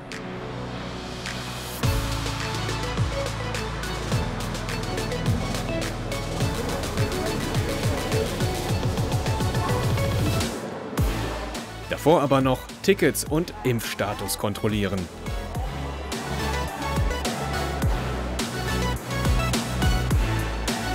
Für die Zuschauer heißt es dann Platz nehmen im Kinosaal. Nach zwei Jahren Corona-Pandemie ist das für viele ein besonderer Moment, aber mit gemischten Gefühlen. Letztes Jahr war ich sehr traurig, dass es überhaupt nicht stattgefunden hat und will jetzt einfach mal genießen, hier zu sein. Wir waren gestern zum ersten Mal Und es war ein sehr komisches Gefühl, wieder im Kino zu sein. Ich habe es irgendwie schon länger nicht gemacht eben und es war total auf einmal so, wow, krass, auf einer großen Leinwand was zu sehen und auch was zu sehen, was andere zum ersten Mal sehen. Das war irgendwie auch ein ganz tolles Gefühl mit anderen Leuten zusammen. Ja, das ist vor allem die, die fehlende äh, Feststimmung, Festivalstimmung, die, die fehlt halt. Und dass man halt, wenn man draußen, vor, früher hat man halt draußen immer Menschen getroffen, hat mit denen geredet, hat sich ausgetauscht, hat Künstler, Film, Filmschaffende gesehen. Äh, wir hatten auch schon mal so dieses Bett für Filmschaffende gemacht. Da waren also, haben bei uns welche gewohnt. Diese ganzen Sachen fallen halt flach. Und das ist schon äh, ein bisschen deprimierend. Das war ein ganz anderer Betrieb, andere Stimmung. Und ich bin auch ein bisschen erstaunt, wie wenig Leute jetzt überhaupt das nutzen, ins Kino zu gehen. Wir machen das seit Jahren zusammen und äh, macht unheimlich Spaß. Äh, hier einfach mal zwei, drei Tage nur Kino pur. Und gerade die Wettbewerbfilme sind halt unheimlich interessant. Max Ophüls ist unser Steckenpferd, machen wir jedes Jahr. Also ich trage da immer schon im Jahr vorher einen Urlaub ein in der Woche, damit ich frei kriege. Und wie schaut es in den anderen Kinos aus? Das Kino 8,5 kommt bei der 18 Uhr Vorstellung auf sechs Reservierungen. Die große Festivalstimmung bleibt hier etwas aus. Das ist dieses Jahr schön, dass man da mal im Kino kommen kann. Und ich finde auch, so einen Film muss man im Kino sehen. Das gehört dazu. Das ist heute ein bisschen schade, dass wenig Leute da sind. Das Publikum fehlt ein bisschen, die besondere Atmosphäre vom Ophüls. Ich bin ganz aufgeregt. Es ist mein erster Film. Ich habe leider den äh, Eröffnungsfilm am Sonntagabend verpasst und bin jetzt ganz aufgeregt und ein bisschen schade, dass ich äh, nicht so viele Leute da sind jetzt. Gestreamt äh, sehe ich mir gar nichts an. Da habe ich etwas äh, die Nase voll von. Für mich ist Kino einfach was Besonderes und ich finde das wirklich sehr schön, äh, noch mal ins Kino gehen zu können und weiß, wir wissen ja nicht, ob das noch mal äh, für, für ein paar Wochen unterbrochen werden wird. Deswegen möchte ich auf jeden Fall die Gelegenheit nutzen. Die Kinowerkstatt in St. Ingbert. Um 20.30 Uhr läuft hier der letzte Ophüls-Film am Tag. In gemütlicher Wohnzimmeratmosphäre. Ich freue mich hier total, auf dem Sofa zu sitzen. äh, wie früher halt in der Kinowerkstatt, die gibt es ja schon ewig lange. Es hat sich das sehr verändert im Laufe der Jahre und das ist jetzt hier im Rahmen der Pandemie Alternative. Es fehlt so ein bisschen das Flair die Gespräche halt mit den Schauspielern, Regisseure oder mit, mit dem Publikum, es ist halt nicht so besucht wie in Saarbrücken jetzt beispielsweise. Wir sind doch dankbar, dass es jetzt überhaupt weitergeht. Ich finde es mal gut, dass man mal wieder sowas machen kann. Ich finde es auch einfach schön, dass wir auch so schöne Plätze haben und dass es auch trotz Corona irgendwie möglich ist, nochmal sowas zu machen. Deswegen bin ich, also ich bin einfach froh, dass es jetzt geklappt hat. Zu guter Letzt muss nur noch das Streaming klappen. Das hat es, also Licht aus und Film ab. Ja, das Streaming klappt und natürlich auch unser äh, Festivalfunk klappt ganz wunderbar. Und einer derjenigen, die das zu verantworten haben, dass das hier überhaupt stattfindet, das ist Oliver Rottong äh, vom Saarländischen Rundfunk und der ist uns jetzt zugeschaltet. Hallo, lieber Olli, wir vermissen Ja, dich hier. Ich vermisse euch noch viel, viel mehr. Hey, oh Gott. Hallo. ja, kleine Überraschung für dich. meine Maske noch, Maske noch auf. Ja. Hallo zusammen. Schön euch zu sehen. Genau, aber wir überlassen das Feld jetzt. Ach so, ja, genau. Wie geht's dir? Ja, eben. Ja, mir geht wirklich ganz gut. Ich hatte die ersten drei Tage so eine relativ gut spürbare Erkältung ähm, und das war's. Also der Rest ist äh, so ein leichter Schwurbel. Ansonsten äh, sitzt man da in seiner Gummizelle, hat einen positiven Test und hat nichts. Äh, also ich, es ist jetzt Jammern auf höchstem Niveau. Ich meine, ich mache hier dann meine eigene Festivalparty. Aber Man. Man sieht's, voll geil. äh, Ich bin aber nee, danke der Nachfrage. Oliver. es, es, die Frage, die Nachfrage ist ja berechtigt und es ist nicht so, dass man jeden Tag jetzt von so einer Infektion denkt, das wird schon gut gehen, aber es ist wirklich, äh, da muss man sagen, ich habe das jetzt streng nach Drosten abgefeiert, also es war nichts. Ich- Mir geht's gut, Dankeschön. Wir reden gleich noch weiter, was das alles zu bedeuten hat mit deiner Corona-Infektion. Aber äh, du hast die Zeit gehabt, was für eine Tasse übrigens, sehr beeindruckend. Genau. Ähm, du hast die Zeit gehabt, hier den kompletten Festivalfunk einmal zu schauen. Vielleicht eine erste fundierte Kritik, wo die drei KollegInnen hier gerade bei mir stehen. Also ich muss ja so ein bisschen meinen, meinen wirklich meinen, meinen tiefgrünen Neid rausrechnen, weil ich so gern bei euch wäre. Äh, das erste, was mir auch, also es sieht wahnsinnig gut aus. Das, das ganze Setting, muss man sagen, da machen wir alle, allen in Deutschland die Nase lang. Und vor allem Lob an die Maske. Ihr seht wahnsinnig gut aus. Also ihr seht so gut aus, wirklich lebendig. noch Also ihr, nie. ihr seht, ihr seht, ihr seht, ihr seid so schön. Wirklich, also es ist aufgefallen, also nicht, nicht übergeschminkt oder sowas. Also ähm, und ansonsten bin ich ein, ein wirklich dankbarer täglicher Zuschauer. Ich passe ein bisschen auf bei den Filmen, die ich noch nicht gesehen habe. Da schalte ich mich weg, weil das, das spoilt mir eben. Spoilergefahr. Ja. Genau. Wir sind ja gerade aktuell am Gucken. Ich eben online. Die beiden anderen Jurykollegen gucken es dann wirklich im Kino. Night Factor Nummer zwei. Ähm, aber ansonsten, ich, also ich, ich, ich will nicht sagen, ich bin stolz, weil, weil sehr viele Sachen von diesem Festivalfunk, so wie er jetzt äh, abläuft, geht ja auf das Konto anderer Leute. Also bei Office gibt es da ja auch wirklich so ein paar Masterminds und äh, dann ähm, Sabine, eure Redakteurin im Hintergrund, äh, die, die macht da Sachen möglich, von denen ich gar nicht wusste, dass die technisch überhaupt gehen. Äh, was ihr da vor der Kamera Ja, wir dahin legt. fliegen ja auch ab und zu mal so durchs Ja. Studio oder so. Ne? Genau. Ich, ich frage mich natürlich, ob ihr irgendwie ab, ab, ab Minute 30 alle Hacke seid, bei dem, was ihr da immer dann in euch reingießt. Ja, Aber kann man so sagen, kann man so sagen. Aber wir trinken auch vor. Und für dich Okay. mit. Know-how ist Know-how. Aber von daher, also wirklich, äh, es ist eine Freude, das zu sehen. Wirklich. Große Freude auch, dass du jetzt da bist. Ich sag mal Danke an euch drei. Ihr habt noch mehr Tschüss, Olli. zu tun. Ihr müsst äh, nicht den Pegel halten, aber euch auf die Gäste vorbereiten. Also bitte. Danke euch. Ja, lieber Olli, Mensch, ähm, ihr habt das von langer Hand geplant. Also es ging los ähm, direkt nach dem letzten Festivalfunk eigentlich, dass ihr da schon Pläne geschmiedet habt. Ich habe gehört, sogar groß mit Publikum eigentlich. Ne? Genau, wir wollten euch eigentlich alle mitten ins Getümmel werfen. Also sprich, dass das so wie so ein, so ein kleines Aquarium, auf dem, wo auf der einen Seite eben wirklich ähm, Filmtalks mit, mit Gehalt rauskommen, also so wie jetzt auch bei euch, aber eben, dass die Leute auch mal sehen können, wie so dieses, dieses mediale Gefuppel da abläuft, also wie, wie, wie sowas gemacht wird heutzutage. Äh, und, und das wäre dann die perfekte, die perfekte Verschmelzung von eben eurem Setting und diesem ansonsten ja extrem zahlreichen äh, Office-Publikum gewesen. Aber ähm, mangels Faktor B ähm, gibt es eben nur euch, das aber dann kondensiert und, und in der Qualität, in der wir es eben jeden Tag jetzt erleben können. Aber wir nähern uns an. Letztes Jahr waren alle Gäste zugeschaltet. Jetzt sind zumindest die Filmgäste live vor Ort. Und ich würde sagen, nächstes Jahr dann das Publikum. Dann haben wir so diese Dreistufigkeit. Äh, so macht man das ja bei so langfristigen Projekten. Aber sag mal, ähm, das hat dich natürlich jetzt zum blödesten möglichen Zeitpunkt erwischt. Man muss dazu sagen, du bist geboostert und du hast jetzt deinen zweiten Impfdurchbruch und das auch noch zwei Tage vor Festivalbeginn erlebt. Ähm, Ja, ich bin, ich bin tatsächlich 5G, wirklich. Also 5G. nachgezählt, ich habe ich hab, ich, ich hab fünf Immunisierungsereignisse jetzt hinter mir. Also wenn ich hier rauskomme, dann habe ich Superkräfte.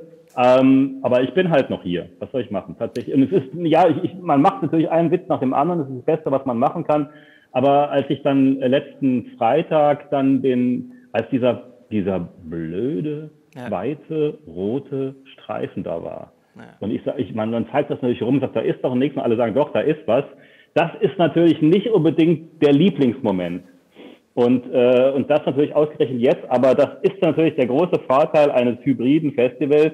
Dann wird halt auch der Juror hybrid, der eine, während die anderen da auf dem Festival Spaß haben und essen gehen und Filme gucken im Kino. Genau, also Drehbuch, Jury, da bist du dabei, schon seit vielen Jahren, äh, weil es ist ja auch der Fritz Raff Drehbuchpreis und der Saarländische Rundfunk ist da sehr, sehr stark dabei. Und du bist ja quasi zuständig für Filmjournalismus bei euch im Haus. Richtig, das ist so, dass es gibt ja keine eigene Filmredaktion mehr und dann, dann versammelt sich das eben auf den Schreibtischen derer, die sich halt fürs Kino so erwärmen können. Und bei mir ist das jetzt vom Studium her und von Haus aus und von meiner Biografie her eben so Kino das große Ding. Und ähm, so, so habe ich mich dann auch diesem Drehbuch äh, angenähert, was jetzt über die Jahre wirklich hochinteressanter Gegenstand ist, äh, da zu gucken, wie schreiben die das und wie verfilmen die das. Ähm, das macht großen Spaß, wobei ich natürlich noch nicht die Bohne Ahnung habe, wie jetzt meine anderen ähm, Jurymitglieder in diesem Jahrgang ticken. Aber wir haben morgen die ersten Besprechungen und dann werden wir sehen. Genau, also vielleicht nochmal zur Erklärung für alle, die das nicht so kennen. Ihr lest zuerst die Bücher und dann schaut ihr die Filme und auf der Basis von beidem entscheidet ihr, wer den Preis kriegt. Genau, genau. Geht es da um die bestmögliche Umsetzung des Geschriebenen oder was ist da der Faktor? Der Faktor ist tatsächlich, wie weit die Autorenschaft, also sozusagen das Autorenhafte äh, rund um das eigentliche Drehen, also meistens ist es ja dann vorgeschaltet, also er wird das, erst wird das Buch geschrieben, dann, dann wird das verfilmt, wie weit das so ein Film tragen kann. Und das kann ein Film natürlich tragen, indem ähm, es ein sehr, sehr festes Rückgrat für den Film bildet äh, und man das eigentlich so runterverfilmen kann, ein bisschen runterkürzen, ein bisschen schneiden, ein paar schöne Bilder oder sowas. Es kann aber genau das Gegenteil sein, dass ein Buch ähm, eine Qualität hat, die da lautet, man öffnet sich eigentlich den Dreharbeiten gegenüber und, und, und bietet so einen, so, einen, so einen Steinbruch für etwas, was eigentlich dann nach der Montage, also in der Post-Production, nochmal was Drittes ergibt. Auch das kann eine Qualität eines Drehbuchs sein, eben diese ganz besondere Offenheit. Also man merkt, da spricht wirklich der fundierte Experte. Und ja, woher kommt das denn eigentlich? Also äh, du hast, äh, soweit ich das weiß, Germanistik und Musikwissenschaft studiert. Ja, bei uns, äh, das Schöne an der Uni des Saarlandes war es damals so, das war ja noch die alte Studienordnung, ich bin ja Magister, Magister dass, dass, dass, dass es da wohl mehrere, in der Professorenriege mehrere Leute gab, die auch für Film gebrannt haben, obwohl sie also eigentlich von der Literatur kommen. Und so wurde also unter der Hand da so ein, so ein filmwissenschaftliches Studium angeboten. Und äh, das habe ich natürlich, äh, da ich damals schon für Kino brannte, angenommen, äh, bis zum geht nicht mehr. Also ich habe da wirklich alles besucht und habe auch eine Abschlussarbeit in die Richtung gemacht. Und, und, äh, aber wo, wobei man sagen muss, Film kennen tut man durch Film gucken. Man muss ganz viel, man muss nicht, also man darf ganz viel sehen. Man muss Filme sehen, Filme sehen, Filme sehen, sich einen Kopf machen. Das ist besser als jedes, als jede graue Theorie, die da äh, akademisch vermittelt werden kann. Absolut, und zwar die gesamte Filmgeschichte am besten, also dann quer durch die Bank. Und natürlich jetzt beim Max-Uffels-Preis, was sich so tut in der ganzen Breite. Gibt es denn so ein, so ein Gefühl dafür, hat sich jetzt schon so ein, ich sag mal salopp, Corona-Genre entwickelt aus deiner Sicht? Ich habe in einigen Büchern äh, das Wort gelesen und es gab auch irgendwo, wurde auch mal das Tragen von Masken erwähnt. Äh, ob das sich nachher auf der Leinwand zeigt, weiß ich nicht. Ähm, ich bin mir aber sehr sicher, dass ähm, diese, diese, das, was diese Pandemie mit uns macht, mit unserer Gesellschaft macht, das ist ja jetzt nicht so gerade von schlechten Eltern, dass sich das nicht vielleicht direkt jetzt, aber in den nächsten Jahren sehr stark in den Filmen niederschlagen wird. Vielleicht nicht wörtlich, weil Film ist auch ein transzendentes Medium, aber, aber ähm, also ich meine, es ist eine Katastrophe. Es ist eine große globale Katastrophe und, und äh, sowas wird in der Regel gerade bei jungen, engagierten Filmemacherinnen und Filmemachern sofort aufgegriffen. Also ganz klar. Dazu passt vielleicht auch, du hast äh, mal ein Seminar gehalten, selber als Dozent, äh, ja. und das beschäftigt sich mit dem Horrorfilm. Ist das ja, das, das Genre dieser Zeit? Ich, ich, bin gar kein Horrorgucker und das war eigentlich nur ein Trick, dass ich, das hieß äh, Archetypen des Horrorfilms. Also das ging dann von mit Nosferatu los und dann ist da irgendwie auch äh, Godzilla durch mein ähm, ähm, Seminar dann äh, gegeistert und so weiter. Aber ich bin eigentlich gar kein Horrorgucker, kann mich aber erinnern, da hinten links in der Ecke saßen immer die Horrorfilmgucker, die ganz harten, die, die Mädels und Jungs, ja. Und wenn du, wenn du Horrorfilmgucker in so einem Seminar hast, dann hast du gewonnen weil tatsächlich die gucken viel und die haben so ein, die haben so ein Filmwissen, so ein Gespür für das, was Film mit jemandem machen kann. Denn wo, wenn nicht im, im Horrorgenre, äh, dass das eine große Freude war, mit denen zu arbeiten. Klasse. Ich habe gehört, jetzt so langsam gibt es auch immer mehr Möglichkeiten, um selber dann auch mal was zu gestalten. Also ich sag mal so, ähm, digitale Formate bieten auch neue Wege für euch hier im SR. Und man munkelt, du sitzt an einer Webserie. Das ist richtig. Das ist gar kein Gemunkel. Ich betreue tatsächlich, also ich bin sozusagen auf die andere Seite gegangen, also nicht mehr jetzt sozusagen filmjournalistisch, sondern tatsächlich Film produzieren. Das macht ja sonst normalerweise jemand anderes bei uns beim Bayerischen Rundfunk, Christian Bauer, der den Tatort und so weiter betreut. Aber da gehe ich quasi sozusagen mal in die digitale Welt, trene äh, mit einem sehr talentierten, ähm, freundlichen Regisseur eine sechsteilige Webserie in gewisser Weise, Urs, ist ja das, was wir hier machen, also das, wo du sitzt, ja auch so, so ein digitales Projekt, Klar. in dem ich die Ehre habe, teilnehmen zu dürfen, unter anderem. Und äh, das ist natürlich toll, diese, diese, diese neuen Spielwiesen auszuprobieren. Also diese vermeintliche Erfahrung, die man über all die Jahre gemacht hat, äh, zu transportieren in solche Medien äh, und zu, zu gucken, wo unterscheiden sie sich und wo kann man eigentlich das gute alte Handwerk auch noch zum Einsatz bringen. Mhm. Also wir sind sehr gespannt. Ich, ich weiß, du darfst noch nichts drüber sagen, aber sechsteilig habe ich äh, äh, gehört. Also das Ja, ich darf noch eins verraten, am Ende wird nicht geheiratet. Und kein Horror. Ah, okay.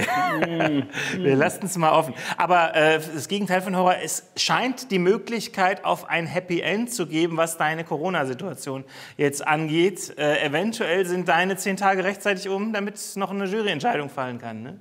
Ja, ich hoffe, dass die doch persönlich treffen sollte. Wenn du sagst Happy End, äh, es scheint eine, eine Möglichkeit auf ein Happy End zu geben, würde ich mir auch fragen, was wäre denn das Gegenteil? Bitteschön, ja. äh, aber nein, ich, ich, also ich, äh, ich gehe natürlich nicht, nicht äh, positiv getestet aus dem Haus, aber das, äh, nach, nach Lauterbachs Regeln endet das eben nach zehn Tagen. Und da verfahre ich wiederum streng nach Lauterbach gerne. Das wäre also am Montag, aber toi, toi, toi, äh, ich muss mich erstmal dann äh, negativ testen. Also ein Glück, dass wir das Festival dieses Jahr verlängert haben, damit du eben auch tatsächlich hoffentlich dann noch rechtzeitig, zumindest zum Abschluss, in Präsenz hier sein kannst und eine tolle Entscheidung triffst. Es ist eine große Freude, dass du jetzt zumindest auf diesem Wege uns zugeschaltet warst. Nächstes Jahr auf jeden Fall wieder live in Lolas Bistro. Danke, Oliver. Rottung. Danke dir. Ciao. Bis denn. Und ja, gegenüber Karl sitzt wieder äh, in der Lounge und hat zwei Gäste, und zwar vom Film Overheim. So ist es. Und dieser Film ist, äh, glaube ich, nicht weniger als eine atemberaubende Reise ins Weltall. Aber es ist keine ganz klassische Reise und ist auch kein ganz klassisches Erzählkino, was Juri Höpfner, der Regisseur, und Leon Harms, der äh, Producer, zumindest zwei Vertreter dieses Films, die äh, dankenswerter- dankenswerterweise in den Festivalfunk gekommen sind. Ähm, Gehst du soweit mal, vielleicht das als kleine Warmbox-Frage, damit d'accord, damit einverstanden, dass das ähm, eine Reise ins Weltall ist? Habe ich das so richtig verstanden?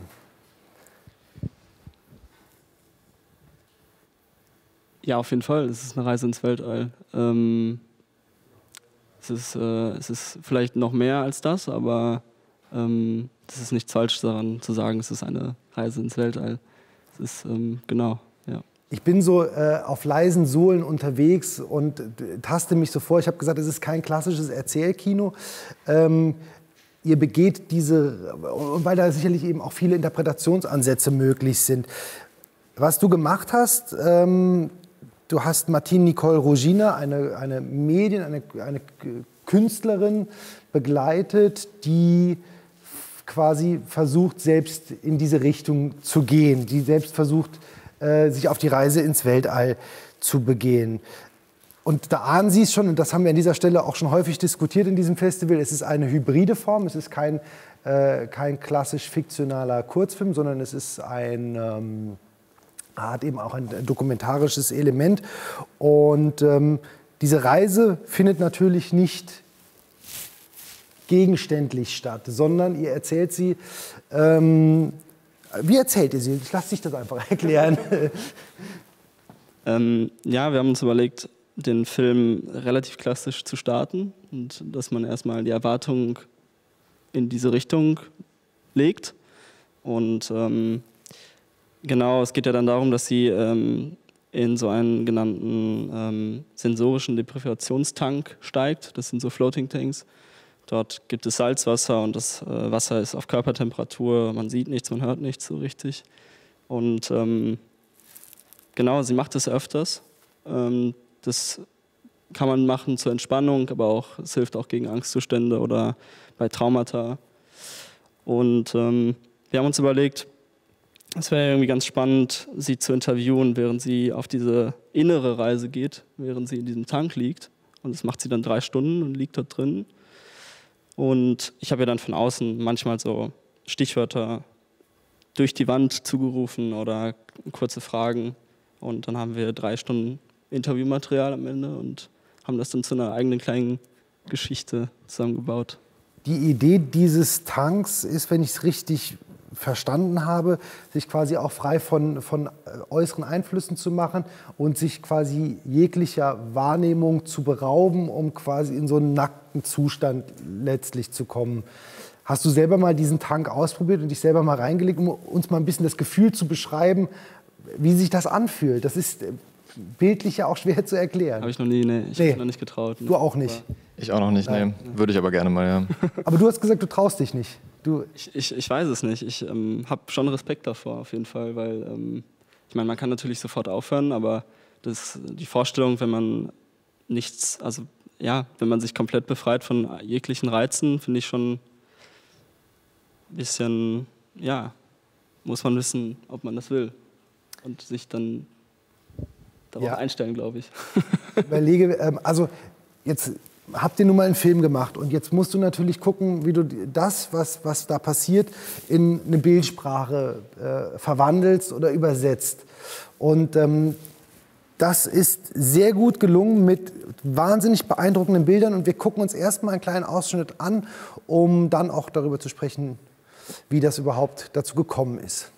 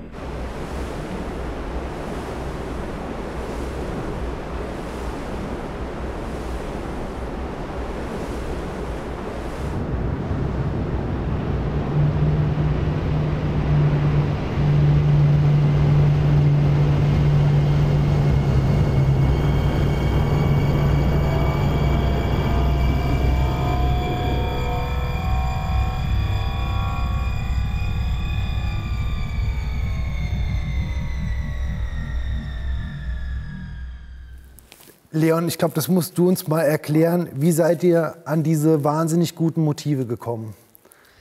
Ähm, ja, das war auf jeden Fall ein bisschen Arbeit und uns ist eigentlich Corona dazu gute gekommen. Dadurch hatten wir, hat, uns, hat sich der Drehzeitraum nochmal um drei Monate verschoben und wir hatten diese Monate mehr, um an diese Motive zu kommen. Das war bei der Bundeswehr in Königsbrück bei Dresden. Da steht diese Humanzentrifuge, die gibt es auch, soweit ich weiß, in Europa nur einmal. Und da werden Soldatinnen und Soldaten ausgebildet, um diesen G-Kräften ausgesetzt zu werden. Ja, und das äh, war uns ziemlich wichtig für diesen Film, genau diesen Drehort auch zu bekommen und da drehen zu können. Und ist, glaube ich, auch ein wichtiger Anteil im Film, der eben diese Überleitung dann ins Weltall schafft. Also das ist das, ich kenne das, glaube ich, aus dem alten James Bond-Film. Da kommt so eine Zentrifuge auch vor.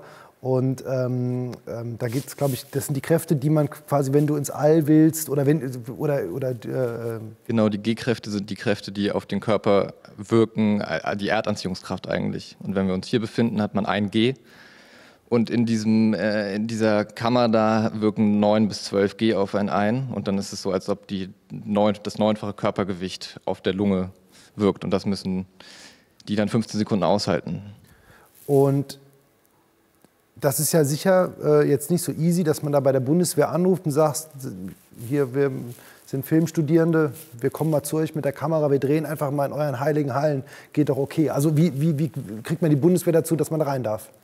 Ich glaube, wir hatten ein bisschen Glück natürlich, wie immer bei sowas, und aber auch einen äh, sehr guten Mann vor Ort, Thilo Ulbricht, der selber sehr filminteressiert ist und der ähm, die Idee spannend fand und selber auch Filmaufnahmen hobbymäßig macht und ähm, dafür gesorgt hat, dass wir da rein können. Und ich glaube auch der Name von der Filmakademie, von der Hochschule, wo wir studieren, hat uns dabei auch ein bisschen geholfen so und genau diese Mischung hat es, glaube ich, am Ende gemacht.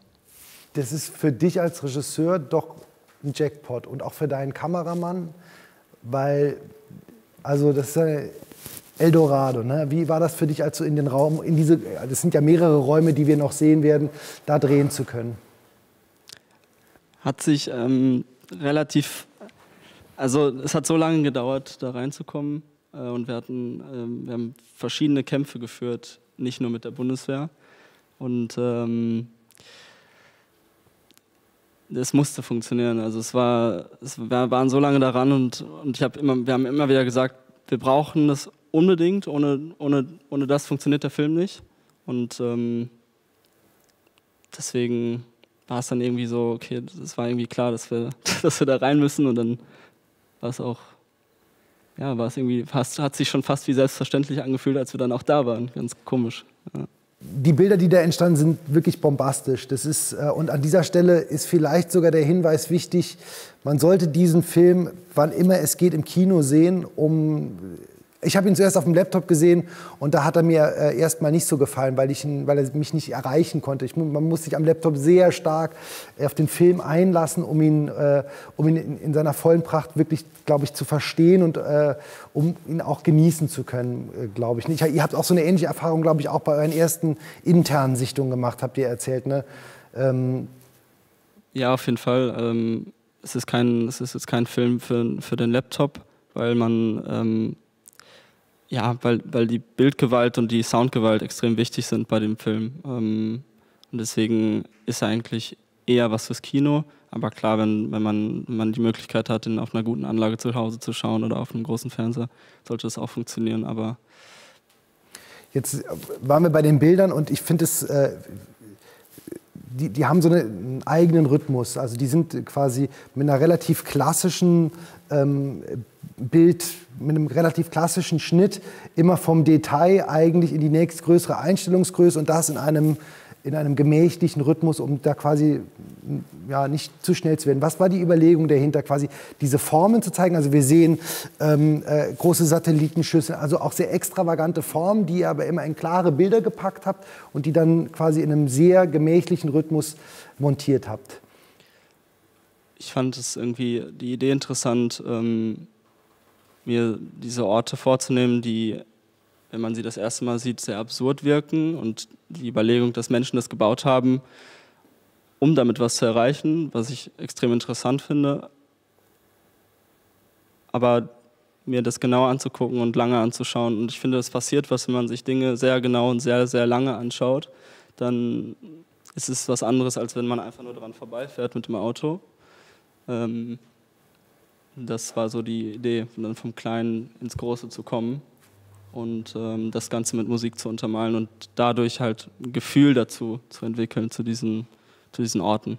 Das Gefühl, was sich äh, einem direkt ja auch vermittelt, ist ähm, irgendwas äh, im Science-Fiction-Bereich. Also in, manche Bilder haben auch, glaube ich, so eine, zumindest war das mein Eindruck, ähm, und wie gesagt, nur auf dem Laptop leider gesehen, mit einer hohen Körnung, also auch aber nicht jedes Bild. Also einzelne Bilder, so, so ein bisschen wie eine 70er-Jahre-Andeutung, die so ein bisschen an, an, Zukunftsfantasien und Utopien der 70er irgendwie so erinnert hat. Ja.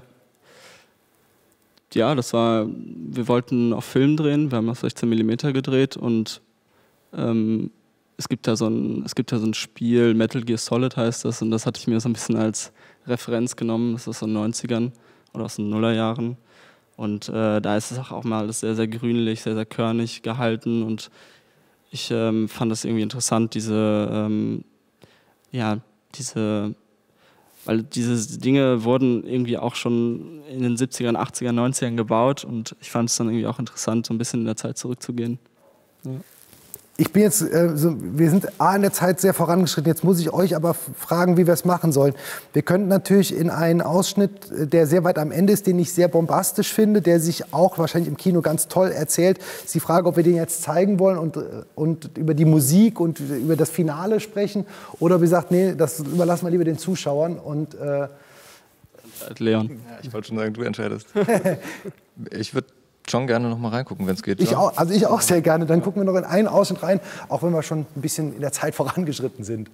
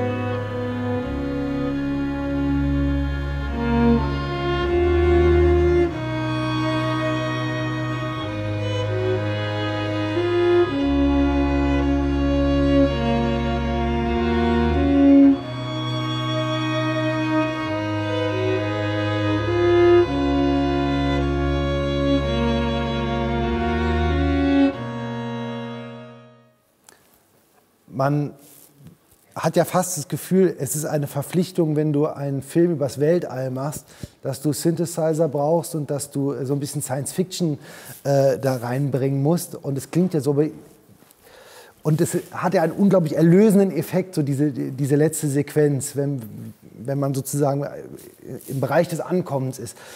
Ähm, aber du hast dann doch noch mal am Ende damit gebrochen. Erklär ganz kurz äh, dein, deine musikalische, dein, dein musikalisches Konzept. Du meinst den äh, Übergang? Ja. Mit dem Bruch? Ja. Ähm, ich fand es irgendwie interessant, das auszuprobieren. Ähm, das wollte ich schon immer mal machen. Also etwas äh, Elektronisches zu etwas Klassischem, zu diesen Übergang zu schaffen. Und ähm, die eigentliche Idee oder die, die, die, der, die Idee, die zugrunde liegt, ist, dass wir versucht haben, nochmal so ein Gefühl von Entspannung und äh, wir landen jetzt wieder auf der Erde, dem Zuschauer mitzugeben, ähm, dass man nicht einfach nur total verloren ist, sondern ja, das, das, ist, das ist was, also wir wollten dann noch was Schönes erzählen und ähm, das Gefühl von manchmal ist man verloren im, im All, aber hoffentlich landet man dann auch wieder auf sicherem Boden. Das, das war die Idee. Es überträgt sich, äh, ich habe es wie gesagt, leider wirklich, nur, ich muss noch ins Kino gehen, nur auf einem kleinen Bildschirm gesehen. Ähm, es überträgt sich. Es war meine Erfahrung und ähm, das hat wirklich sehr großen Spaß gemacht, diesen Film zu sehen und fand das äh, eine, äh, eine spannende Erfahrung, wie es euch gelungen ist, ähm, ein Gefühl mit den Möglichkeiten, die ihr im Film habt, auf den Zuschauer zu übertragen. Deswegen äh, vielen, vielen Dank, dass ihr diesen Film gemacht habt und dass ihr ihn mitgebracht habt äh, ähm, zum Filmfestival Max-Ophüls-Preis. Ich wünsche euch viel Erfolg hier. Danke, dass ihr da wart. Ja, danke, dass wir hier sein können. Und ähm, Simin, bei dir geht es weiter mit dem Film Nicht nur Körper, auch aus dem Kurzfilmwettbewerb. Genau, Programm 4. Levi will eine Beziehung. Sarah hat Zweifel, ist keine gute Mischung. Meistens geht es auch nicht sonderlich gut aus. Da wird ja immer schnell gesagt, ja, das ist was rein körperliches hier zwischen uns. Aber wir sind eben nicht nur Körper. Und so heißt auch äh, der Film von Frederik Jäger in der Hauptrolle Jasper Engelhardt. Schön, dass ihr beide da seid. Hallo. Hallo. Jasper, du bist uns zugeschaltet, weil du leider in Quarantäne bist. Ich hoffe, es geht dir gut. Ja, mir geht es gut. Ich habe leider Corona abbekommen, aber ich fühle mich gesundheitlich gut. Das ist ähm, Timing ist nur sehr schlecht. Das stimmt. Wir hätten dich sehr gerne hier gehabt, aber zumindest ich jetzt wäre auch sehr gerne bei euch. ja. ähm, ja, sprechen wir vielleicht erstmal über den Titel. Ist das eine Ansage von dir, Frederik? Ähm, es, ist, es ist eine Möglichkeit, den Film ähm, äh, zu lesen. Und es ist ja ein Spiel mit vielen Codes. Also es geht in dem Film darum, wie wir performen, wie wir ähm, als Menschen performen, die aus unterschiedlichen Milieus kommen, die aus unterschiedlichen äh, Herkunften stammen und die unterschiedliche Sprachen sprechen und vielleicht auch miteinander nicht immer kommunizieren können. Mhm. Und um die Projektionen, die wir auf andere Menschen machen. Das war auch der Ausgangspunkt von diesem Film. Mhm. Die Projektion, meine Projektion auf Jasper. Wir haben uns kennengelernt und ähm, ich habe ihm vorgeschlagen, dass ich einen Film für ihn schreibe. Ach, Tatsache. Und ähm, äh, wir haben uns nur anderthalb, zwei Stunden, drei Stunden vielleicht in einem Café getroffen und ich habe mir dann überlegt, was könnte er für ein Mensch sein und ähm, welche Figur könnte, ähm, könnte ihm etwas geben, eine Entsprechung sein. Und insofern ist es ein Film über das, was ich mir für Jasper ausgemalt habe. Also Levi ist sozusagen das, was du glaubst, wie Jasper sein könnte, bevor du ihn kennengelernt hast. Mit den ersten kleinen, ähm, nach der ersten kleinen Begegnung, genau. Genau, dann müssen wir auf jeden Fall später darüber sprechen, ob sich das bewahrheitet hat. Was genau ist denn, du sagst, es geht um Performance, es geht um Projektion. Was genau ist denn da so ein bisschen die Schwierigkeit zwischen Sa Sarah und Levi, Jasper? Vielleicht kannst du das beantworten. Also ich denke, was dieser Film sehr, sehr spannend macht, ist eigentlich eine Art Umkehr von äh, Geschlechterrollen. Also ähm, Sarah ist für Levi, oder na, das, wie soll ich sagen? Er schaut ähm, zu ihr ähm, auf, würde ich sagen, oder? Auf jeden Fall. Er schaut zu ihr auf und ähm, er will irgendwie ganz viel von ihr. Er will von ihr ähm, eben zum Beispiel nicht nur Körper, sondern er, er, ist interessiert an ihrem Intellekt, an ihrer Intelligenz, an ihrer Erfahrung und an ihrer ähm, auch Reife irgendwie. Und er will Liebe, er will Beziehung von dieser Frau. Mhm. Und ähm, Sie ist aber in der cooleren Position, in der Laid-Back-Position, wo sie guckt, ob es ihr Spaß macht, ob es irgendwie ähm, ja, ihr was bringt und sie dann ja auch schlussendlich eigentlich äh, geht, weil sie sagt, ach, das wird mir doch zu kompliziert und zu vertrackt. Mhm. Und wie das im. Alltag, im Alltag der beiden aussieht, äh, das schauen wir uns mal schnell im Ausschnitt an.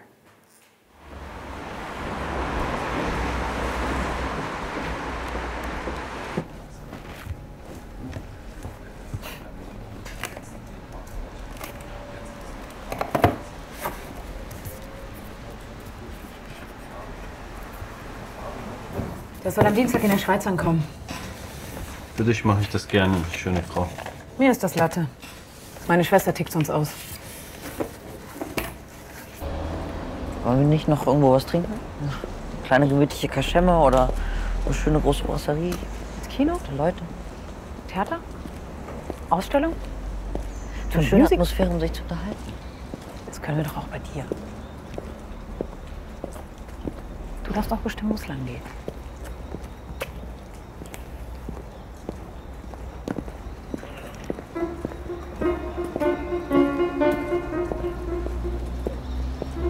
Du machst nichts, oder?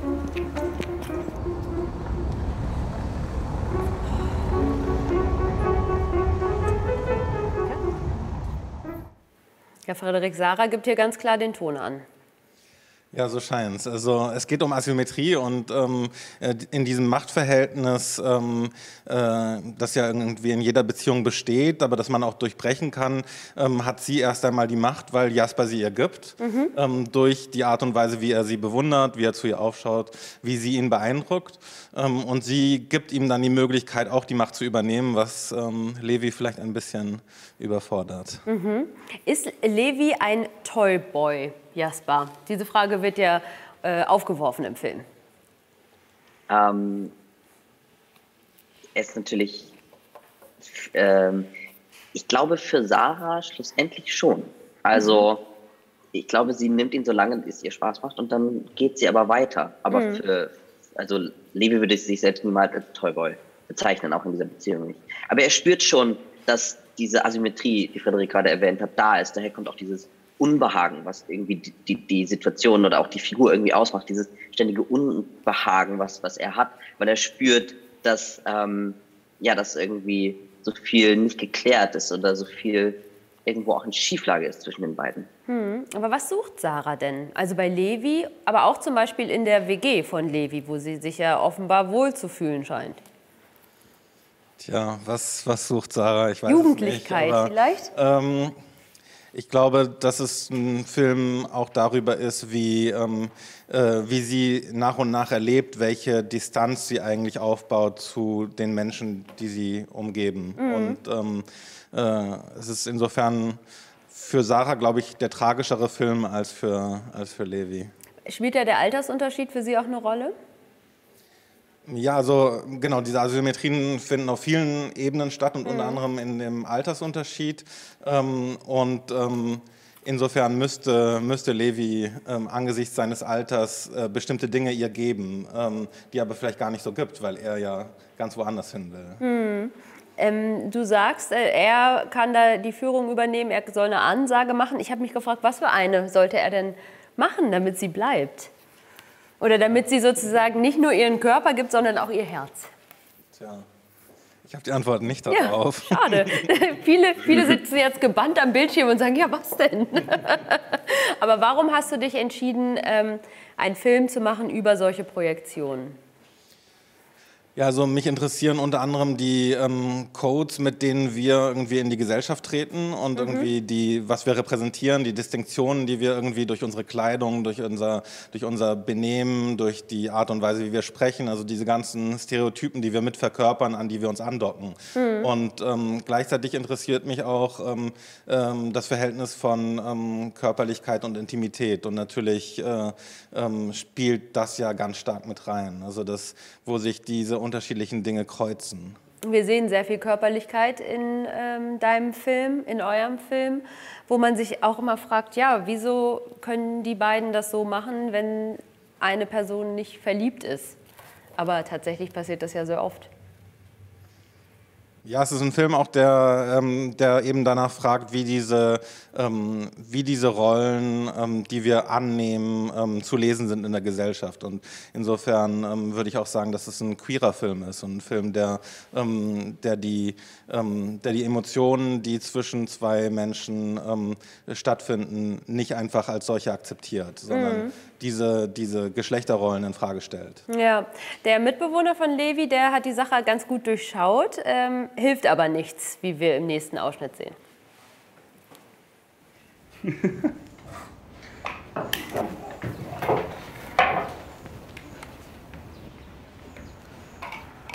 Warum können Männer wie du nicht hetero sein?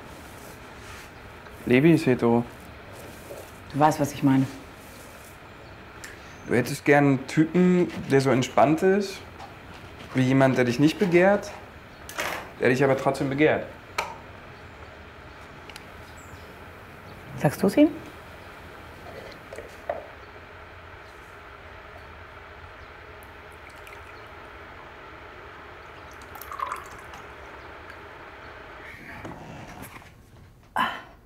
Liebe ist kein Zustand, kein Gefühl, kein Verlangen, sondern ein Austausch. Unausgeglichen, voller Geschichte, mit Gespenstern, mit Sehnsüchten, die mehr oder weniger lesbar sind. Du hieß Butler. Ich habe noch viel zu lernen. Ich gehe. Hm. Ich gehe wirklich. Okay. Sehen wir uns die Woche noch? Ich gehe Zigaretten holen.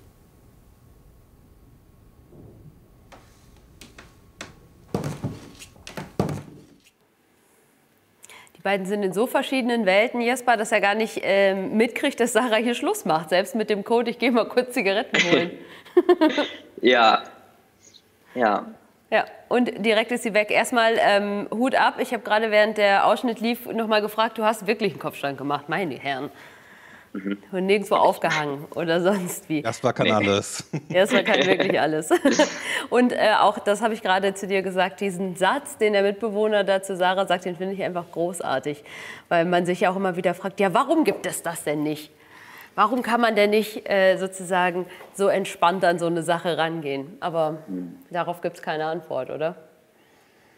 Naja, es hat was, glaube ich, damit zu tun, dass sie Intimität letztlich nicht zulassen will. Sie will Mhm. jemanden, der keine Intimität will Mhm. und gleichzeitig aber ähm, alle Be alles Begehren performt. Und das Genau. ist genau das, was es nicht gibt. Also Ja. ähm, das schließt sich gegenseitig aus, fürchte ich. Ja, ein Und Paradox. ich denke, dass es, dass es auch eine Art alte Vorstellung irgendwo ist, dass man, dass man dieses äh, sexuelle Paket zum Beispiel haben kann, ohne, ähm, also ohne Liebe, würde ich sagen. Also ich denke, dass da äh, Levi in dem, dem Butler-Zitat eigentlich die Antwort findet, irgendwie zu sagen, dieser Austausch, der muss da sein für das, also was sich je, Levi jedenfalls vorstellt. Und ich glaube, dafür ist Sarah einfach äh, an dem Punkt nicht bereit. Sie möchte da etwas anderes. Ich glaube aber, das liegt stark daran, dass sie ein, ein altes Bild irgendwie von Männlichkeit halt auch hat. Während Levi im nächsten Satz dann eigentlich seine größte Stärke ähm, beschreibt. Und zwar, ich habe noch viel zu lernen. Also er ist ein junger Mann, der aber bereit ist, sein, ähm, sein, sein Rollenbild zu hinterfragen, Butler zu lesen, ähm, Hm. sein Gender zu hinterfragen und viel zu lernen. Und ich glaube, das geht mit Unbehagen einher, das geht mit Abhängigkeiten einher, das geht mit Missverständnissen einher, aber ähm, kann dann schon die Basis sein für, für eine wirkliche Verbindung, die dann auch diese, diese Lust oder Sexualität, die sich Sarah vielleicht wünscht, Hm. ähm, ja, ähm, auch ermöglicht. Spannend, das auf jeden Fall auf der Leinwand zu sehen. Jetzt am Ende natürlich nochmal die Frage, äh, wenn Frederik ein, ähm, ein Jasper in Levi reingeschrieben hat nach den ersten Augenblicken, die er dich kennengelernt hat, hat er dich da gut getroffen oder nicht? Also teils, teils. Dieses, was, was ich gerade versucht habe zu beschreiben, also als Mann in einem Übergang zu sein, wo man alte Rollenbilder, die man so vorgelebt bekommt, sein Leben lang in allen Filmen, anfängt zu hinterfragen und auch merkt, dass, dass wenn man sozusagen versucht, so eine Form von Männlichkeit zu performen, dass man sich damit eigentlich unwohl fühlt, dass man spürt, dass da ist ein Unbehagen, wenn ich, wenn ich so eine Art von Männlichkeit versuche zu leben. Und die, dieser Satz, ich habe noch viel zu lernen und sich dem Thema zu öffnen und zu schauen, wie kann man eine Beziehung suchen, die ähm, ja so individuell ist und vielleicht so auch irgendwann durch, naja, meiner Meinung nach Gespräche und Literaturlektüre so weit irgendwann individualisiert wird, dass es auch weggehen kann von den klassischen Rollen und Geschlechterbildern und auch Beziehungskonstrukten. Ähm, ja, Konstrukten. da hat er mich auf jeden Fall sehr gut getroffen. Ich glaube aber, dass ich auch wiederum nicht Levi bin, sondern Levi eine, eine super spannende Rolle für mich war, mhm. äh, in dem Moment zu spielen. Vielleicht gibt es ja jetzt, nachdem ihr euch besser kennengelernt habt, den zweiten Teil, wo du sozusagen Levi noch mehr anpasst an Jasper. Ja, Jasper ist sehr viel selbstbewusster als, als Levi das ist. Und ähm, äh, ich glaube, das ist genau das Spannende, zu, mit ihm daran, daran zu arbeiten. Also da hat mir großen Spaß gemacht, irgendwie mit Jasper herauszuarbeiten, wie man diese, ähm, diese Unsicherheit, also wie man diese Fragilität herstellt. Weil mhm. das ist irgendwie das, was, was Schauspielkunst ausmacht. Also mhm. an, an Orten hinzugehen, wo man nicht mehr sicher ist, wo man nicht mehr ähm, alles kontrollieren kann. Und das mhm. hat, hat Jasper in der Figur von, von Levi gemacht. Ja, sehr gut gespielt äh, von dir, Jasper, würde ich auch noch mal hier kurz loswerden. Frederik, vielen Dank für deinen Dankeschön. Kurzfilm. Nicht nur Körper ist zu sehen bei uns im Kurzfilmwettbewerb im Programm Nummer 4. Und wenn ich hier rüber schaue, dann hat Urs Sonja dort, um ihr ein paar Fragen zu stellen. So ist das, denn wir machen das ja immer mal wieder, dass wir uns auch gegenseitig vorstellen, wir näher kennenlernen wollen. Äh, das ist jetzt im zweiten Jahr bei uns schon ganz okay, würde ich sagen. Aber für Sie, liebes Publikum, wollen wir das natürlich nochmal machen. Sonja Marx sitzt mir gegenüber und im Saarland müsste ich dich nicht vorstellen. Äh, ja, also sagen wir mal so, ähm, weltbekannt im Saarland. Äh, nee, es ist also so ab einer bestimmten Altersgruppe, äh, ja, äh, kennen viele mich so. Du bist eines der Gesichter quasi des Flaggschiffs des Saarländischen Rundfunks, nämlich der aktuelle Bericht. Mhm. Also du bist eine der wichtigen Nachrichtenfrauen, kann man so sagen, was hier so passiert. Wenn du das sagst. Ja, also. doch, definitiv. Und äh, ja, wie, wie fühlt sich das an? Also wirst du erkannt auf der Straße? Äh, seit wir so viel mit Masken rumlaufen und so, irgendwie äh, werde ich seltener angesprochen, sagen wir mal so. Also die Leute sind dann auch ein bisschen distanzierter und ähm, das ist eigentlich schade. Also äh, das, das passiert schon oft, äh, dass, dass ich so angesprochen wird. Aber wie gesagt, seit, seit die Pandemie da ist, ist da auch da die Distanz so ein bisschen eingekehrt. Und auch da bin ich froh, wenn man dann einfach mal so den, den Plausch, den Spontanen auf der Straße haben kann, weil das ist immer mal wieder schön. Wir senden ja immer in dieses Kameraloch rein, auch hier jetzt so. Ne? Ähm, wenn man die Leute mal trifft, für die man das macht. ja. ja. Und ich meine, jetzt sind wir hier, Festivalfunk, das ist eine ganz andere Studiokulisse, auch eine andere Art des Talkens. Mhm. Ähm, ist das dann was, wo du dich erst reinfuchsen musst? Oder sagst du, ja, das ist so, ein, so eine Woche, da schwimme ich ja, drin und ja, genieße? Ja, absolut. Absolut. Also ich mag das sehr. Wir haben ja schon unsere Zeitvorgaben, aber das ist ein bisschen dehnbarer. Und vor allen Dingen sind das ja, also bei uns im aktuellen Bericht, da habe ich ein Interview, das dauert 3,30. In seltenen Fällen ist es mal länger. Und ähm, ich merke immer wieder, dass mir so die lange Form auch ganz gut liegt. Ne? Also wenn man so richtig mit Leuten in den Flow kommt und auch mal eine Frage mehr stellen kann und auch mal nachhaken kann, noch mal ein bisschen mehr. Ähm, das macht schon richtig Spaß. Dazu passt ja dann auch ganz gut, dass du jetzt auch früh aufstehen musst wieder, weil du im Hörfunk in der Primetime ja. jetzt auch eben ein solches Format hast, wo du auch mal wieder längere Gespräche Wo ich ein bisschen länger bin, ich bin auf SA2 Kulturradio, mache ich äh, zusammen mit anderen äh, KollegInnen ähm, die Frühsendung. Und das ist wirklich schön, weil man da mal ein bisschen mehr Zeit hat und auch zwischendurch einfach mal ein bisschen was erzählen kann, so von sich. Und, und das ist ähm, ein ganz anderes Format äh, als eben das Fernsehen, was sehr, sehr getaktet ist. Und das, das macht mir mir sehr, sehr viel Spaß. Und da geht es sogar um Film, hast du gesagt. Ne? Auch, auch. Wir haben, also das ist halt so eine Magazinsendung, ein frühmorgendliches Magazin, wo es um Politik, um Gesellschaftsfragen, um was Aktuelles geht, aber auch um Film. Wir haben also immer donnerstags haben wir unseren Filmtipp und äh, zwischendurch so Sachen wie Cannes zum Beispiel, da berichten wir auch ganz viel drüber mhm. ähm, und das ist natürlich klasse. Da kriege ich immer alles mit. Ja, das heißt, du sitzt an der Quelle und ähm, ja, ist es was anderes, dann solche Gespräche für den Hörfunk zu führen? Mhm. Für alle, die das das gar nicht nachvollziehen können. Also das ist ja eine ganz andere Art des Redens. Wir aus der Praxis wissen das. Ähm, Musst du da auch die Gäste irgendwie briefen anders, als wenn du es jetzt hier vor Ort hast? Hm, nö, das glaube ich nicht. Also ich glaube, es geht immer darum, dass man, äh, gerade hier ist es in, insofern schon ein bisschen anders, weil da ganz viele junge Leute sind, die noch nie ein Interview gegeben haben zum Teil. Ne? Also denen muss, nimmt man einfach so ein bisschen die, die Scheu und erklärt, so und so läuft es ab. Ähm, aber das mache ich auch im Fernsehen zum Beispiel auch oft, äh, wenn Leute das dann noch nicht so routiniert sind, dass ich denen zumindest mal die erste Frage sage. Oder so, damit steigen wir ein und dann sind die schon mal so ein bisschen entspannter. Dann können sie sich schon mal gedanklich vorbereiten und ansonsten äh, mag ich das auch immer. Ich sage immer im Zweifelsfall nichts mehr sagen, ich frage dann. Ich hole sie ab. Sehr gut. Und entspannt warst du auch vorhin, als das Gespräch einfach mal auf Englisch hier war. Äh, du bist fließend. Äh, ich- ja, ich hoffe, dass das so rübergekommen ist. Es, kam, es klang sehr gut, fand ich. Ja, also das, das Englisch ist, ist äh, meine Sprache, das, das mag ich gern und das, ähm, ja, also Holländisch? habe ich auch studiert. Englisch und Holländisch, genau, genau. Holländisch ist so meine Herzenssprache, das spreche ich nur leider nicht so oft. Ich warte immer noch auf den niederländischen Filmemacher, aber ja. Weil du vom Niederrhein kommst und das nicht genau, weg war. war genau, genau, genau. Also, äh, obwohl da äh, verstehen das die Leute haben da wenig Verständnis dafür, dass ich Niederländisch studiert habe, weil die sagen, ja, das ist eine Halskrankheit. So, äh, und je weiter man von der Grenze wegkommt, desto eher sagen, ach, das ist aber interessant, erzähl doch mal, was hast du da gemacht? Und ähm, da oben wird das nicht so gewertschätzt. Jetzt muss ich mal aus dem Nähkästchen plaudern. Wir haben ja auch Vorbereitungstreffen gehabt, online natürlich. Und da warst du einmal aus einem Elvis Presley-Raum zugeschaltet. Jetzt musst du mir nochmal oder uns erklären, welche Rolle spielt Elvis in deinem Äh, äh, Leben? ja, Elvis ist äh, in mein Leben getreten in Form meines Mannes.